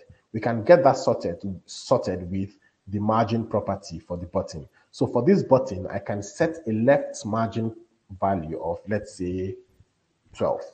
And you see that a space will be created there. And that's okay. That's what we have. So if I come here and I reload this, you see that we have this.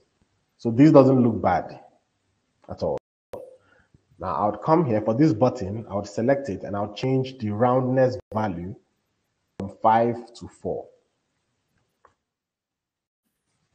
Just like this. And it's practically okay. Like practically okay. So is everyone following? Am I making it really easy to understand?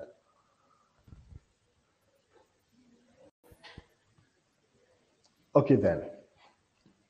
So now let's see how this is going to be on other devices. So I'll click on responsive, click on 992. That's okay, looks really good. This looks really good. And uh, this looks um not really good actually, not really good. We need to make this spread. So let's some conditionals. Let's set some conditionals. So I would say when come here, I would say when current page width is less than 340, yeah, let the right margin or the left margin of this button be set to zero. First of all, take out the margin. Then I would say also let the let the minimum width or let the max width be set to let it be 100%. Let the max width be 100%. Then also, I would come here now, I would set the left margin Sorry if this is becoming confusing, but I'll set the left margin to 24 and I would set the right margin to 24 also to have this look like this. Then for the then for the button, I would set a top margin value also of 24 to have this. Now for this input field, I would I would do the same thing. I'll say for this input field, when the current page width is less than 340, let the maximum width be 100%. Then I would also set the left margin to 24 and the right margin to 24. And that's okay. So you can see that our web app doesn't look bad on, on a mobile device. This looks good for a mobile design.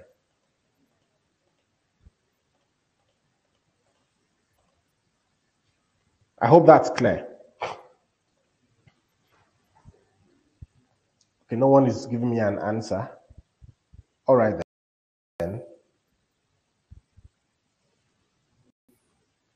The margin is too close. Yeah, you can just set it. Um, and you can set it um, based on how you like it to be set. Actually, yes, you can actually. Kevin, you can. Yeah, you can.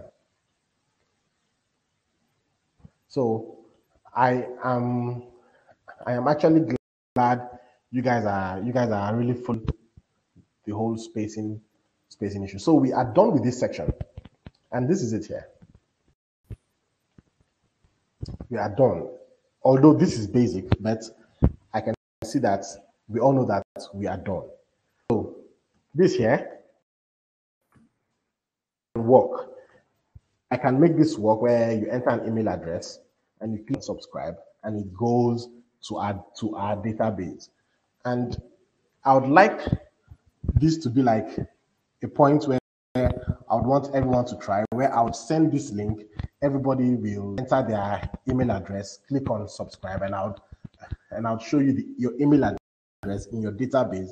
And that email will be sent to your email address saying that you have subscribed to our newsletter or um, stuff. I hope can I use 10 minutes to just do that quickly so that although I won't explain, but I'll just do that quickly in 10 minutes so that you understand how the workflow happens. I would explain as little as I can. Can I take 10 minutes for that? Okay, I, I only have, no, it doesn't happen by, it doesn't happen by, by default. I would have to configure it from the database and, and use a workflow for that. So first things first, let me do that quickly. First things first, I would come here, I would create a data type. I would call this data type subscribe. I would then create a field here for the data type called sub email. And I would set this to text. And I'd click on create. So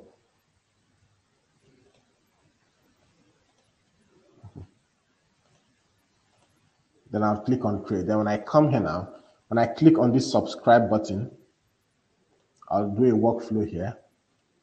I would say create a new thing.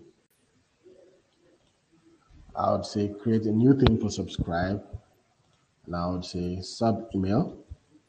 And I would say input your email value. And I'll reset relevant field and I'll say, okay, send an email to the input your email field value, sender's name, I would say job lesson. Or let's just call this something else. And I would say subjects welcome. Welcome. Then I would say, you have subscribed. So this is like me doing a back end configuration. Then that's okay. Then I would say navigate to the home page. And that's okay. So you'd see that if I come here now and I reload this page. Yeah. Now take note at my at my database. If I come here in the database and I click on app data, you'll see that I have a field here called all subscribes. Now, when I click on it, you see that I have no subscription email here. Like this is this is my database. It is currently empty. When I come here now in the web browser and I enter, um, let me say info at this.com and I click on subscribe. And I come here in my database now. If I reload my database, if I come back here and I reload my my database, you see that I have that email that I entered populated here. Now let me send the link to everyone. I want you to confirm that it will go to your to your database and it will automatically send an email to you. So you can click on the link and type in your email there. So everyone should try it.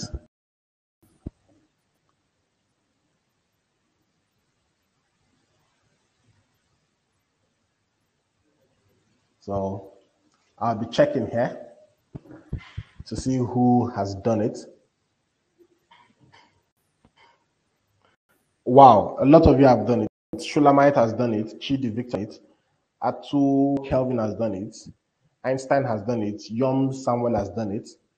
So these are all of your records in the database here. So and I would and I would want you guys to also confirm that an automatic email was sent to your email address. Like the, the email saying welcome, welcome, you have uh, and all of that. Okay, email received. Yeah. Yeah, I just got the email. So so that's it. So is it just only Kevin and Temi that got the email?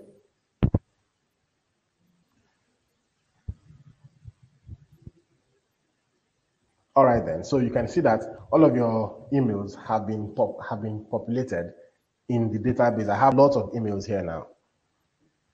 I've, as as you keep entering the email, I keep getting it here in the in the database. And this is just and this is just like the scratch, the scratch of the surface to what we can configure with Bubble here. So this is just the scratch of the scratch of the surface. So I think we keep getting new entries, and this is all of it.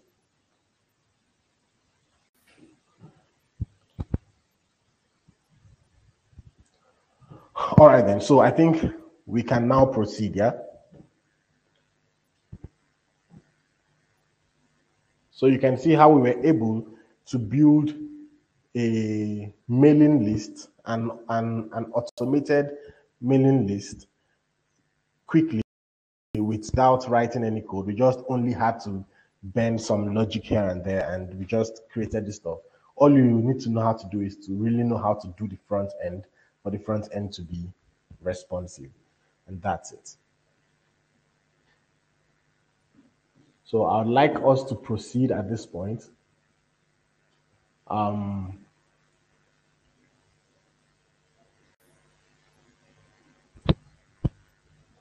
uh, blessing the logic is not complicated. It's because I have not explained the logic actually.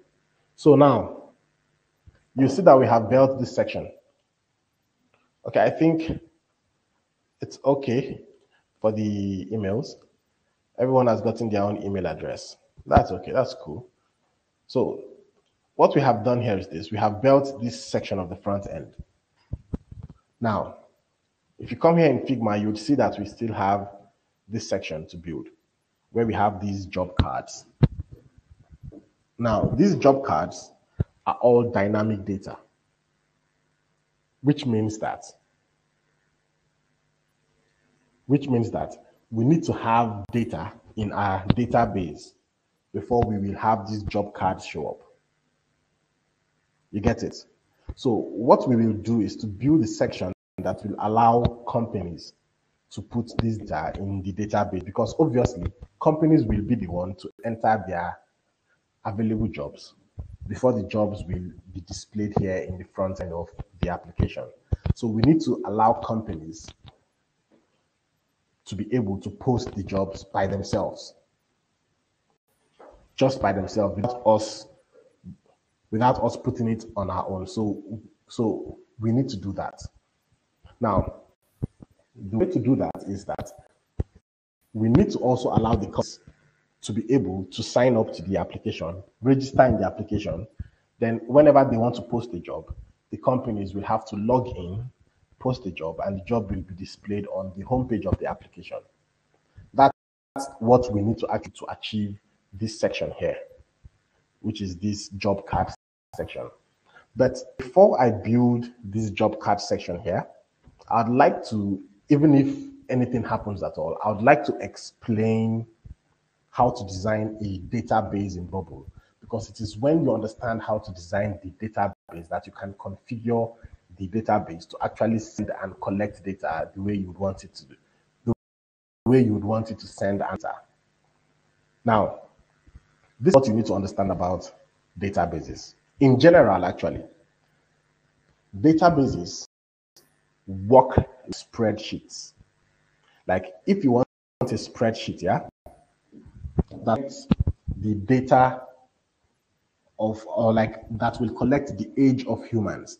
Let's say this is a spreadsheet. If you want a spreadsheet that will collect the age of humans, then it means that you will have to come here, open a sheet. Like you, like you can see, this is sheet one. I can create a new sheet now. Now this is sheet two. I would rename this sheet and I would say age of humans, right? Now, that is me opening like a database that will collect the age of humans.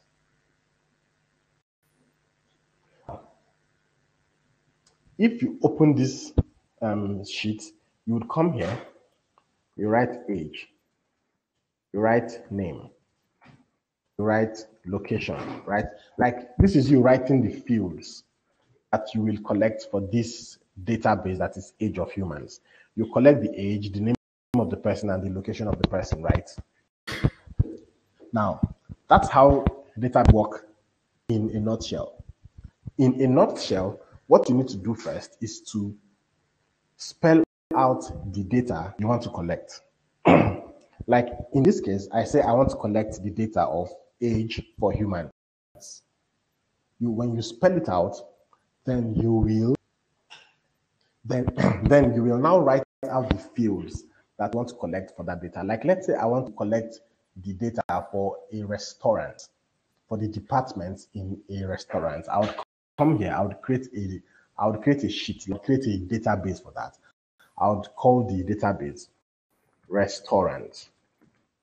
In the restaurant, I would collect the database for the warehouse department. Now are the fields.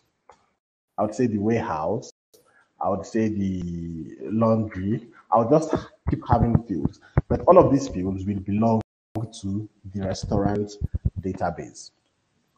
I hope that's clear.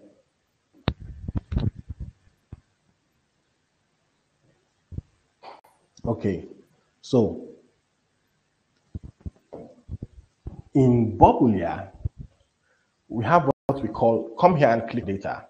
In Bubble, when you click on data, click on data types here.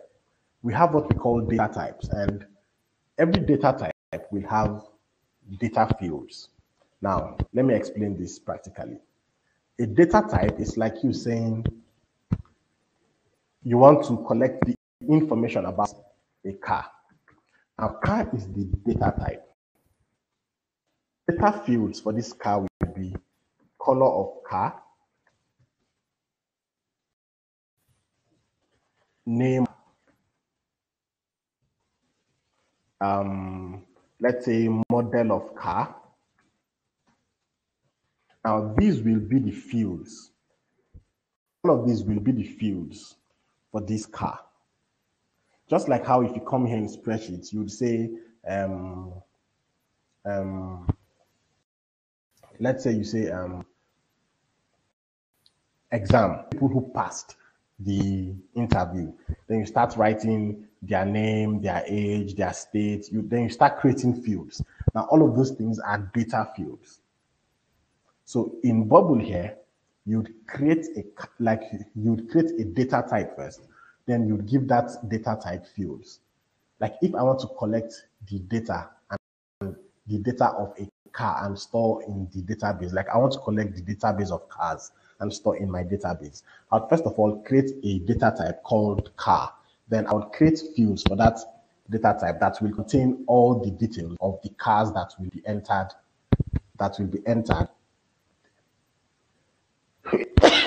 Excuse me. That will be entered in the database. Can you guys hear me? Okay, then. So that is it. So in Bubble, you first of all create a data type, then create fields for the data type. So for this card here, this job card,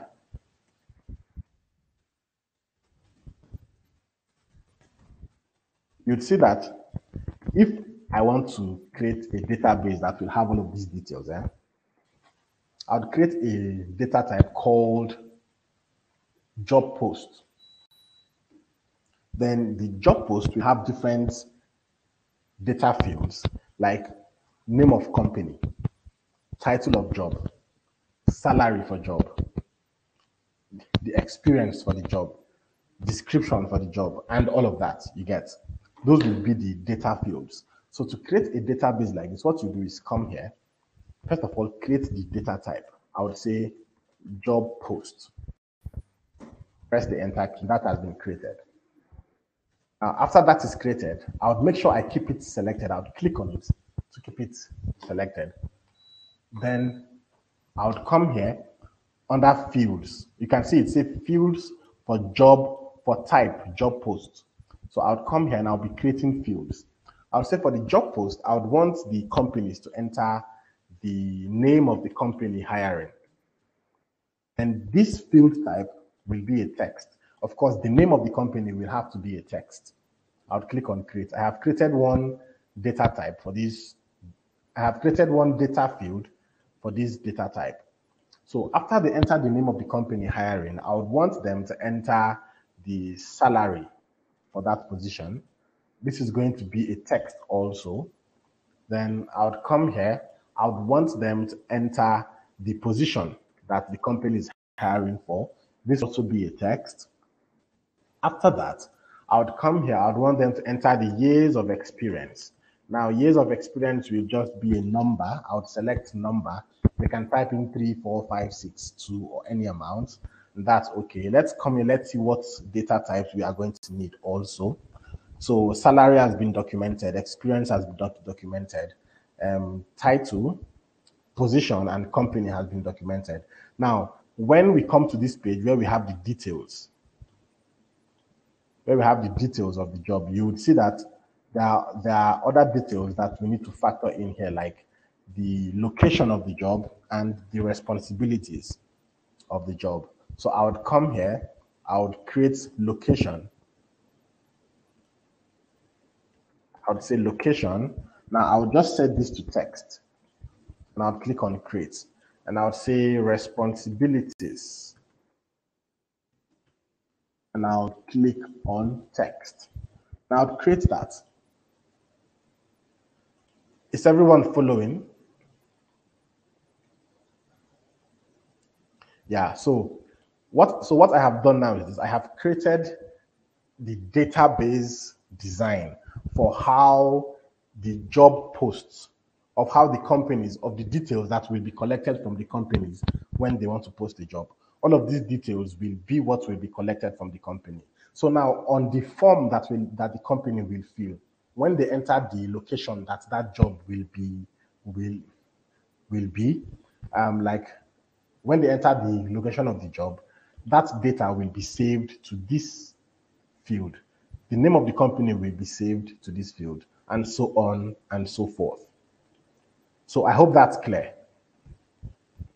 Now how do we build our web application to ensure that the companies are able to post this, this information so that the information can be saved to our database because Actually, it is only when the information is saved to our database that we can use logic to grab it and display it on the front end for the users to see.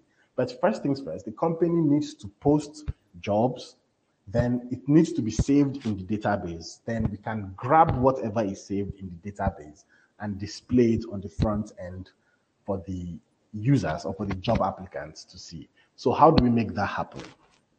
So the way to make that happen is this. We need to create a new page on our Bubble app that will be that will be for the companies who want to post jobs. And on that page, we will just create a form that the companies will use to fill in these details. And we will grab whatever the companies fill in and save it to our database. And I'll give the link also to you guys so that you guys can also put in information and you'll see that saved in the database. So let's create a page for that. I would come here, see where my mouse cursor is on. When I come there, I would click on add a new page. That's how to create a new page. I would click on add a new page and I would give the new page a name. So I would say app um, job post page. Now, when you are writing the name of a page in Bubble, you don't use space. You use underscore, job underscore, post underscore page. Now, Bubble gives us the ability to create a new page from an existing page to make the job easy for you. So as you can see, it says clone from. So I'd like to clone this new page from the index page, just so that I can remove some things and have some things remaining without building the page from scratch. You can see how that's really easy. I would click on create here. And I would wait for some seconds for the new page to be created. And this is the new page here. Remember, we cloned it from an existing page. That's why we have this exact same thing here. So I'll take some of these things out. I'll take this out. I'll take this out. Now we have just this um, group here, this group here we have just this group here that has um, that used to have all of those things inside of it. Now, for you to preview this page, this job post page, come here and click on preview. Your browser will load the preview page. Uh, will load this new page. Now, now you can see that the page is empty. We just have the header only. The header will soon show up here. We just have the header only. So let's go ahead and let's create a form. Okay, somebody just said um, um, company logo and image. That's that's correct. We did not include that in the database. So I would come here, I would create a new field. I would say company logo. That's correct. And I would set that to image. That has to be an image. And that's really insightful. Thank you for that. Now, somebody else is asking, sir, how do you edit already created fields. Now, when you, okay, to edit or, or already created fields here, okay, for now, Bubble has not um, created that. That's not sorted here in Bubble. If you have a field that you don't need in Bubble, you just delete it or you just create a new one. I think that's not really that's not really a hard job to do. You just delete and create a new one. It's going to be difficult when you have actually attached workflows to it. Then you can start rearranging your workflows. But at this stage, you won't really need, it won't be hectic, actually. So I hope those questions have been answered. So let's go ahead and let's create a form that the companies can use. Job description. Okay, the job description is the responsibilities. That's Shulamite. The job description is the responsibilities. You can call yours job description actually. So let's go ahead and let's create the form that the companies will use to post jobs on the application. So I would come here, I would create a text here. I would call this text, um, I would say, let's say, post a job, as simple, or post job form, whatever you want to call it. I'm not good with copywriting. I can write anything that, that, that doesn't really make sense. So I'll say post job form.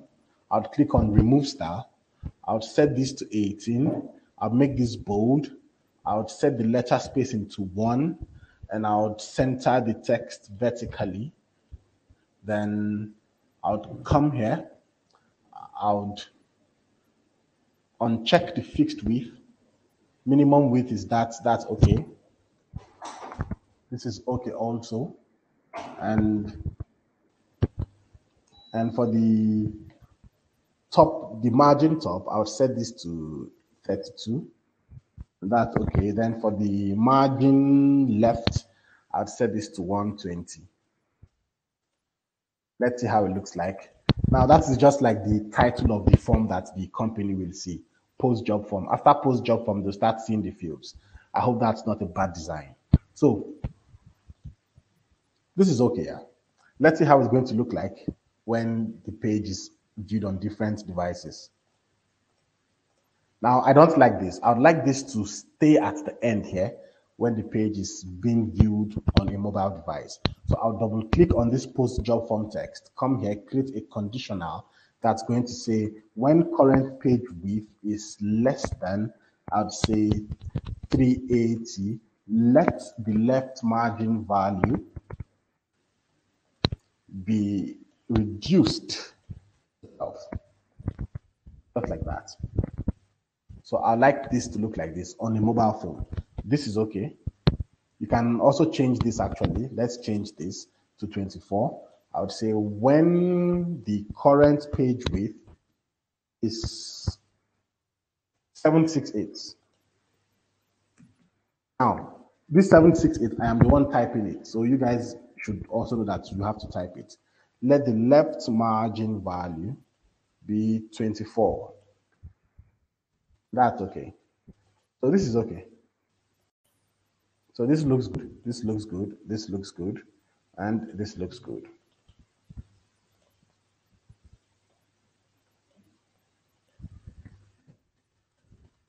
Oh, let's create our form now. I'll click on UI Builder. I'll create the first input field here. Now your input fields, you design it how you want to design it. This first input field, I would say enter available position. You can enter whatever you want to enter there. How do you spell available? Available. But enter available position. Okay. Then the position will have to be a text input now. So I'll keep this set to text. That's okay. And I would say this input should not be empty, which means a company must enter the available position. Now, for the design of the input field, I would like the text, placeholder text to be DM Sans. I'd like this to be 12. I'd like the letter spacing to be 1. Then I would like the background color is okay. I can set it to this You can you can you can actually play around that if you want. Set it to that. Then I would set the layout. The layout, I would give it, I'll uncheck the fixed width and I'll set the max width to 300.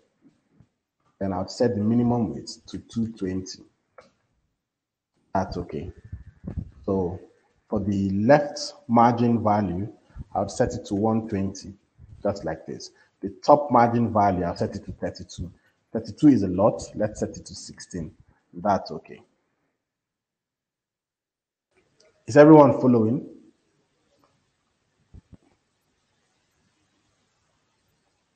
Okay. So this is making sense now. If I reload this page, you'd see that I would have that input field there. Now, this is meant for companies to use to post what they have, the job opportunity that they have. So I would go ahead and I would create other fields. So to create other fields will now be easy. I'll just select this and I'll duplicate it. I can come here and start editing the details. Now for the for this one, it's going to be enter company name. Company name. And for this, it's going to be um, what do we have? What did we have there? Location, position, responsibilities, salary. Okay. The company name will also be a text. The company name will be a text. So for the salary, I'll say enter salary. Now I may be arranging this thing wrongly in in your own mind, but don't mind me for that. I'm not organized sometimes. So I would set the salary to be a number. So I would set this to integer. Take note integer. And that's okay. So enter enter salary, and for this, I would say enter. Let's enter location. Location, and have other fields here. Company logo is there, but location is sorted. This is sorted. Position is sorted. Responsibilities and years of experience is remaining. So I would increase the height of this group that is containing this. Take note, as you can see, the height of the group is almost ending. So I would increase the height of the group. I would click on the group, double click on it. You can see hero group is up.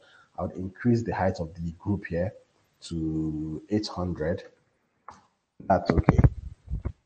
So I can create more fields. And this next field will be for the salary. So I would, okay, no, salary has been sorted, years of experience. So I would say enter years of experience. Now, years of experience has to be a number. I would set it to integer also. It has to be, it has to be an integer, and that's okay. Now, after the years of experience, responsibilities and company logo is the next. So I would come here for the responsibilities. I'll change this from a regular input field to a multi-line input field. Take note, multi-line input fields allow you to enter paragraphs. Like you can do paragraphing inside multi-line input fields. So I'll change this from a regular input field to a multi-line input field so that they can enter long responsibilities or job or job descriptions. So I'll right click on this input field here. You come here, you see, I would say replace by another type. Then I'll select the type I want to replace it by. I would say multi-line input and I'll click replace. Now this is how it looks like. Now to make it look cool, I'll double click on it. Come here now, I would increase the height from 48 to 72 or you can make it 80, 84. Then I would come here, I'll change the placeholder from enter years of experience to enter job description or enter job responsibilities. I think that's what I called it. And that's it. You can make yours look better. Now, after that, I would put the enter um, the upload company logo. So to do that, this is, this is what you do, yeah? Come here, under the input forms, you'd see a picture uploader element here. Picture uploader, not file uploader, picture uploader. You'd click on picture uploader. You'd come here and you'd say um, upload logo. I click when you type in upload logo here, it will be updated to upload logo here.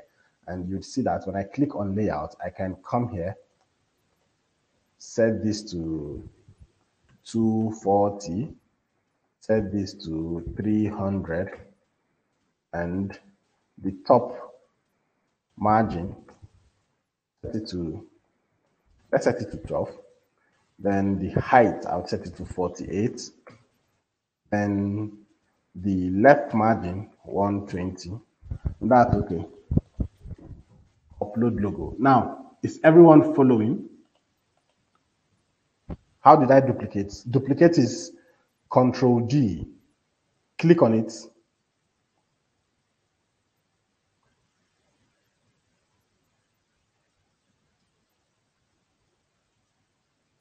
Yeah. Um einstein you yes. What you say is what you said about the um, stuff is correct about Figma. You can't manually recite the width of our text field. Yeah. So I hope everyone is following. So you can see the form that we have created here for the companies to use to post their um, the job they have in their companies. Yeah. So it's okay now. So let us um, put a button here so that when they type in all these details, they would click on post job. Let's call that post job. Simple as that. Let's change the color of that button to black. You can change it to whatever you want. Then let's change the text on the button to DM Sans.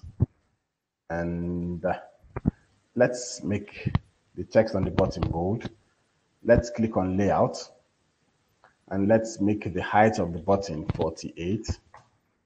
Mm, let's set the width of the button to 220 or okay, I think that's two something, 280. Then let's make the top margin be 16 and the left margin to be 120.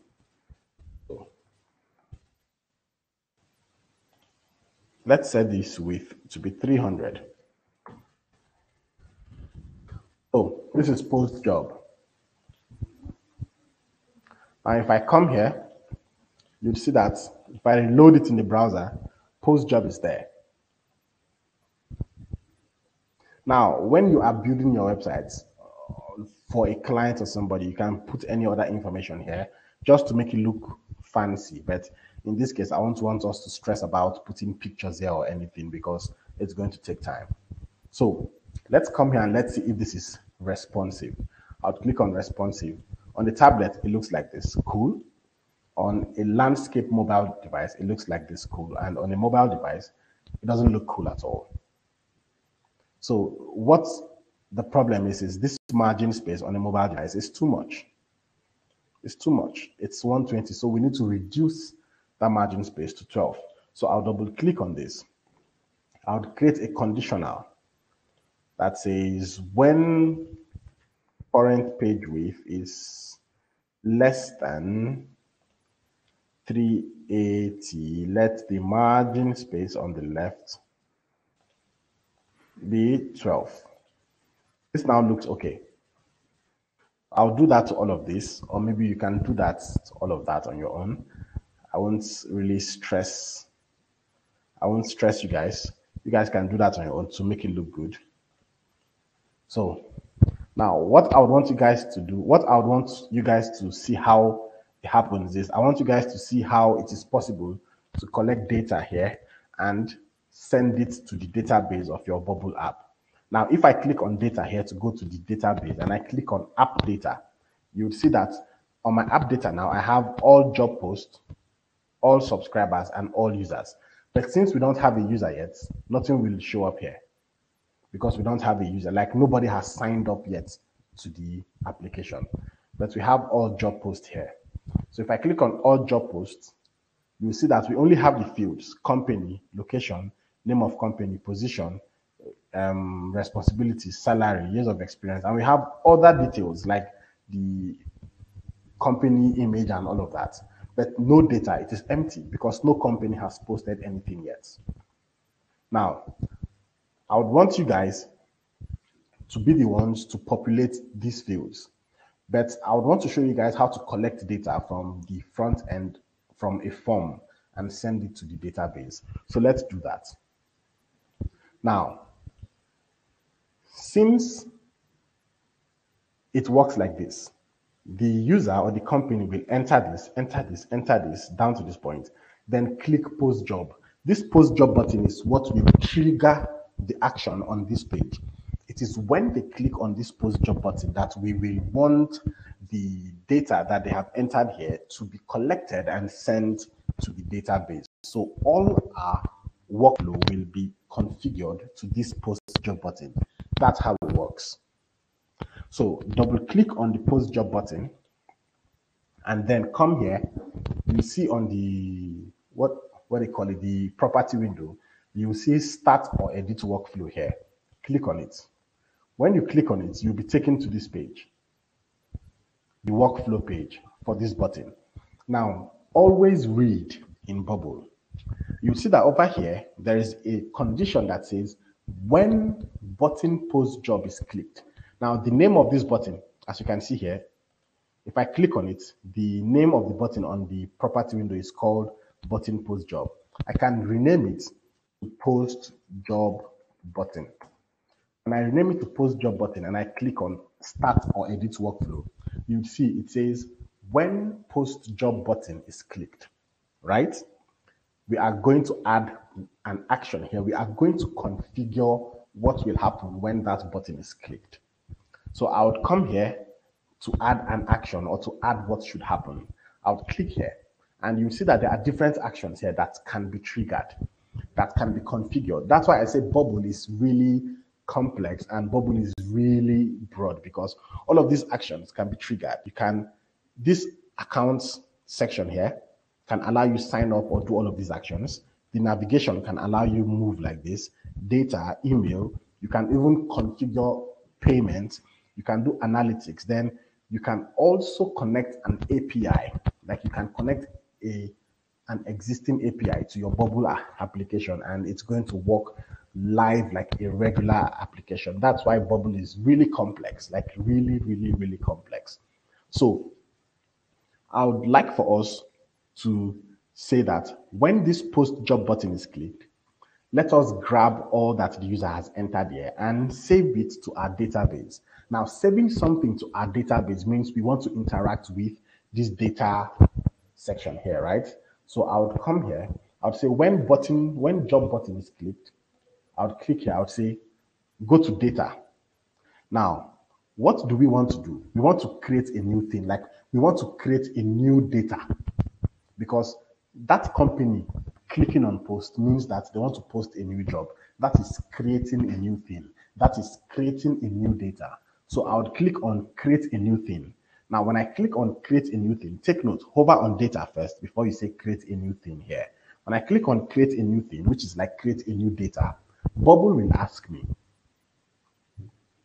where do you want to create this new thing to? Remember, we have data types and data fields. Bubble will ask you, to which data type or on which data type do you want to create this new data on? Because every data must be attached to a data type, right? So we will come here and we will select the data type in our database that we want to create this new thing to. I'll select job post. And that's a win. Now, when you select job post, you need to specify the fields you want to send the details of that new thing to. Like the job post data type has lots of fields that we created, yeah? So we need to collect one data and send to one field, one data, one field, just like that, so that it will be organized like, like a spreadsheet. So I would come here and I would click on add all fields here.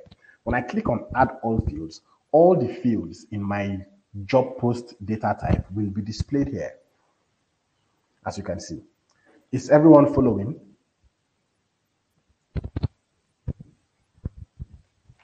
Okay. All right then.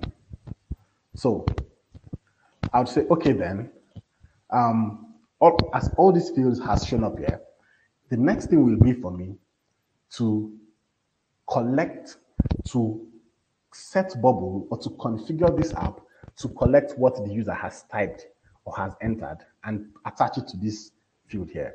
Now, the first field here is company logo. So I would say for the company logo data field in my database, I will collect, come here and click on this. You come here and click on this more here. I will click on here and I'll say I would collect what the picture uploader elements, like what the user, the picture that the user will upload to the picture uploader element. I would collect the value, whatever the user uploads to this let's come here. Whatever the user uploads to this field here is what I will collect and send to my database. But when it gets to my database, it will now be attached to this data field, this field here called company logo. So that's it. So I would, then for the location, I would click here. I would say, I would scroll down and say, you see input, enter location. Now, this thing here, this input enter location, I, I want you to, to, take note. If you come here, if I click on location field here, double click on it, you see that the name is input enter location. That's why I advised you to always name your element or name whatever you are doing. It's going to help you. Now, if I come to my workflow, I would say for the location, for the location field, go to the input location um, field in the front end, yeah? that form field that is called input location, go to it and grab whatever value that the user typed in there. I'll select value here. Now grab that value and save it to the location field in the job post data type that is in the database. Is that clear? Okay then, so we are going to do that for all of the fields here. For name of company, I would say go to the input enter company name field and grab the value that is typed in there. I'll do same for position. I would come here. I would grab the value for responsibilities. I would come here. Um, where is that? I would grab the value for salary. I would come here. I would grab the value for years of experience. I would come here and I would grab the value. And that's it. So we have successfully collected all the all the data that the user will type into this form. We have successfully collected it and we have successfully saved it to our database. So what I'll do next is this. I would say when it is saved to the database, like when this new data has been created in the database, what should happen next? So you see this arrow here pointing to this section that says click here to add an action. I would click here and I would say reset relevant inputs. Now, this is an action that is recommended. It is always good that on a website, when you enter details and you click on enter or post or post job, everything that you type in into the form should automatically clean itself so that you can type something else inside there. It's not good for you to submit a form and the details that you typed in are still there. It is good to automatically clean it. And to do that in Bubble, just click just click on that reset relevant input the way I just did it. Now, when the inputs are reset, we can now say, okay, add another action. Like let's say take the user to the home page or ask the user to go to this page or that. But in this case, we have not connected our home page with the page where the companies will have to um, post a job yet. So we are not going to do that. These two actions are okay.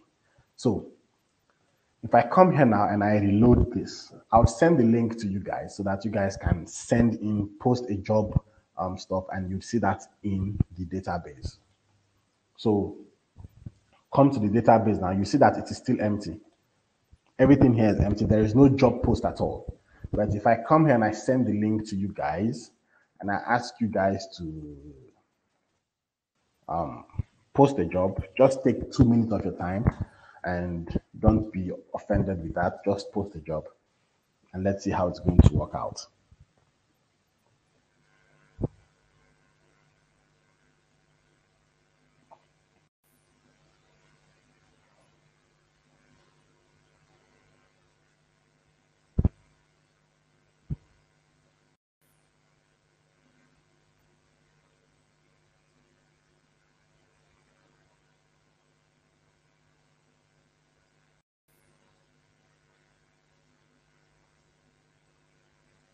Okay, if anyone has, if anyone has posted a job, you can indicate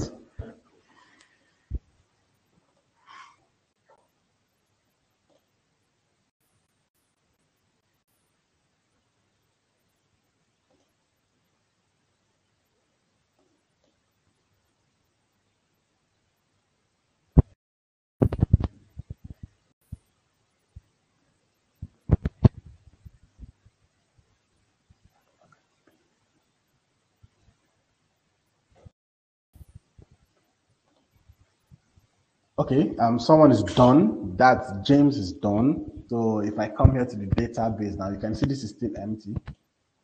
Let's reload that and let's see what we have here. Okay, wow, I have a lot of job posts here. That's that's that's really so you can see all of these here. It's even real time. It's coming in. I have TechPad, name of company. I have Temi. I have Ray Wild Enterprise. Awesome. New Banger Digital great company. I have Stems Technology. So you can see that the um how will I say the the companies are able to start posting jobs through our application and it will be saved in our database.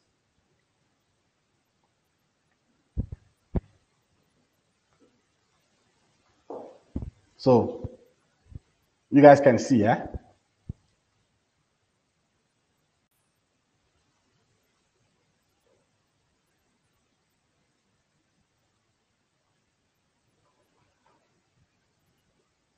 So you can see that the whole details are being recorded real time. can, can you guys hear me?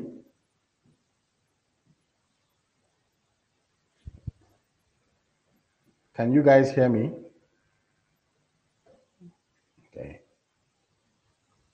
Okay, so I think you guys have seen that we have been able to collect whatever you post from the front end and save it in the database.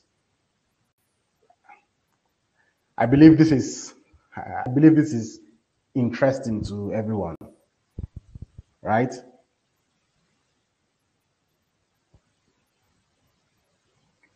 So I know we won't have much time to maybe um, build the repeating groups and do a whole lot of detail like that. But I'll just show you guys how the only problem we have now will be to grab that data from the database and display it here on the front end. So I'll show you that it is possible to grab the data. So if I come here on the home page, I can decide to come here create what we call a repeating group and set the type of content to job post, set the rows to one, and set the height to 64 or let's set this to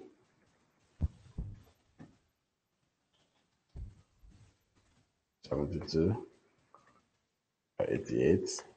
Okay, just um, quick, just a quick one there. Um, I just want to show you guys how to grab this data quickly. Then for the top, I'd say 34. Now for the appearance,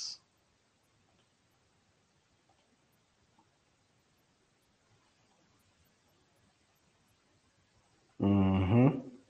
Can come in here and set this to to this to white. Set this to actually, I can change this background to this.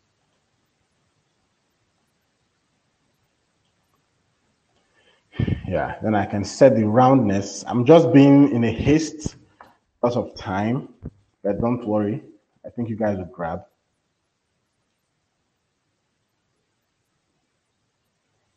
So um, now if I come here in this repeating group, I would set the, i set this to column. Let's set this to align to parent. To row, sorry about that. Oh.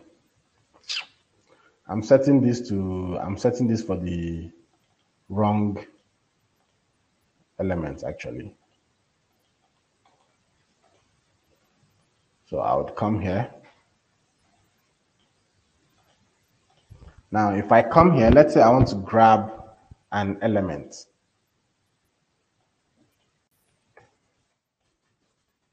Let's say I want to grab one of the jobs. Like, let's say I want to grab the stuff from our database, right?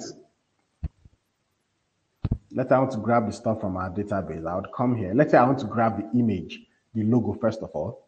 I would come here, I'll select the image too.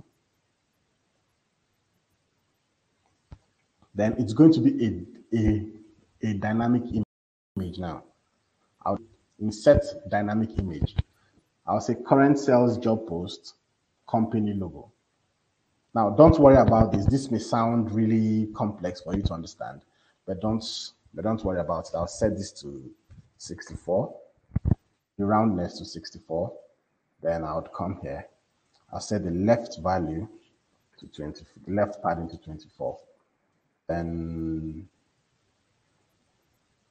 that's okay. Now you see that if I come here in our homepage, if I reload our homepage, what was going to happen?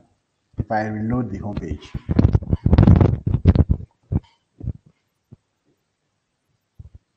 Okay, I have a problem here. Nothing is showing here. I just have this card. Now, when I come here and I say data source, do a search for job posts. If I come here and I reload it, you see what's going to happen.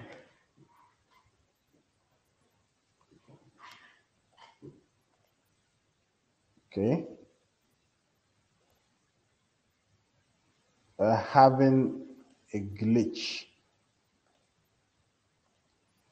Job post, do a search for job post. Um,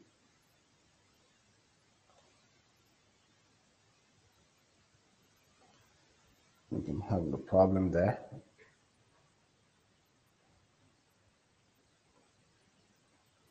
Okay, the data is actually, okay, somebody's image is loaded here. Somebody's image is loaded here. Some images are loading. I think it's the internet. My internet is kind of bad. And as you can see, all of the jobs are being um, posted. I've been, I've been able to only grab the image, the logo. You can see, right? Hello?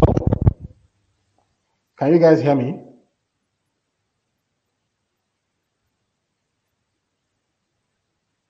Okay, so you can see that I have been able to grab the logo of all the jobs that you've posted. If I come here and I grab and I say I want to grab the um,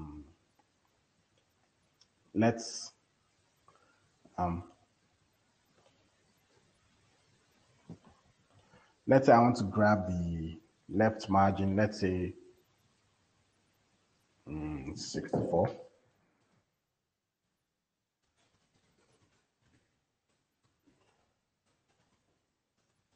Let's say I want to grab the um, name of or the position actually. If I if I grab that and I come here and I reload this, you'll see that the position is what's loading. All the positions that you guys typed in is what is loading on the app.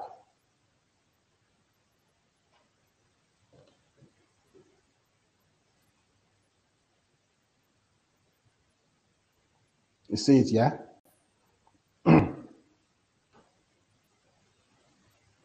so you so so you can see that I'm, I'm I'm able to grab this without writing any code logic at all. So you can see what somebody typed. so that's it. And actually it is as the it is as they keep typing, I can say, okay, sort by created dates in the ascending order, descending order. So it is the most recent that will be that will be updated continuously. This is the most recent job that was posted. It's now reorganized.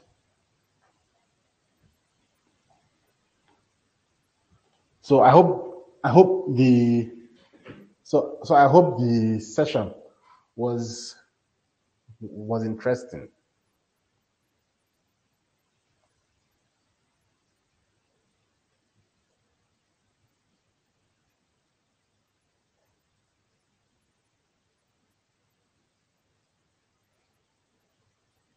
Okay.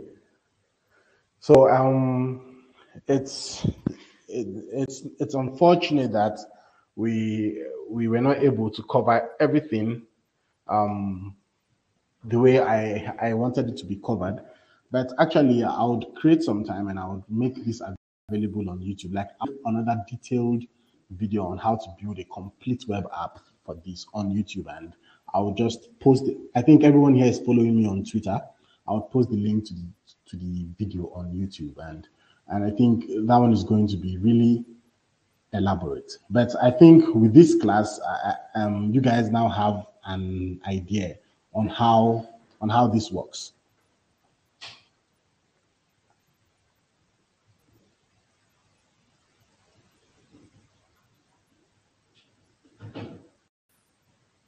Okay then. All right then. So um, you guys can still go ahead.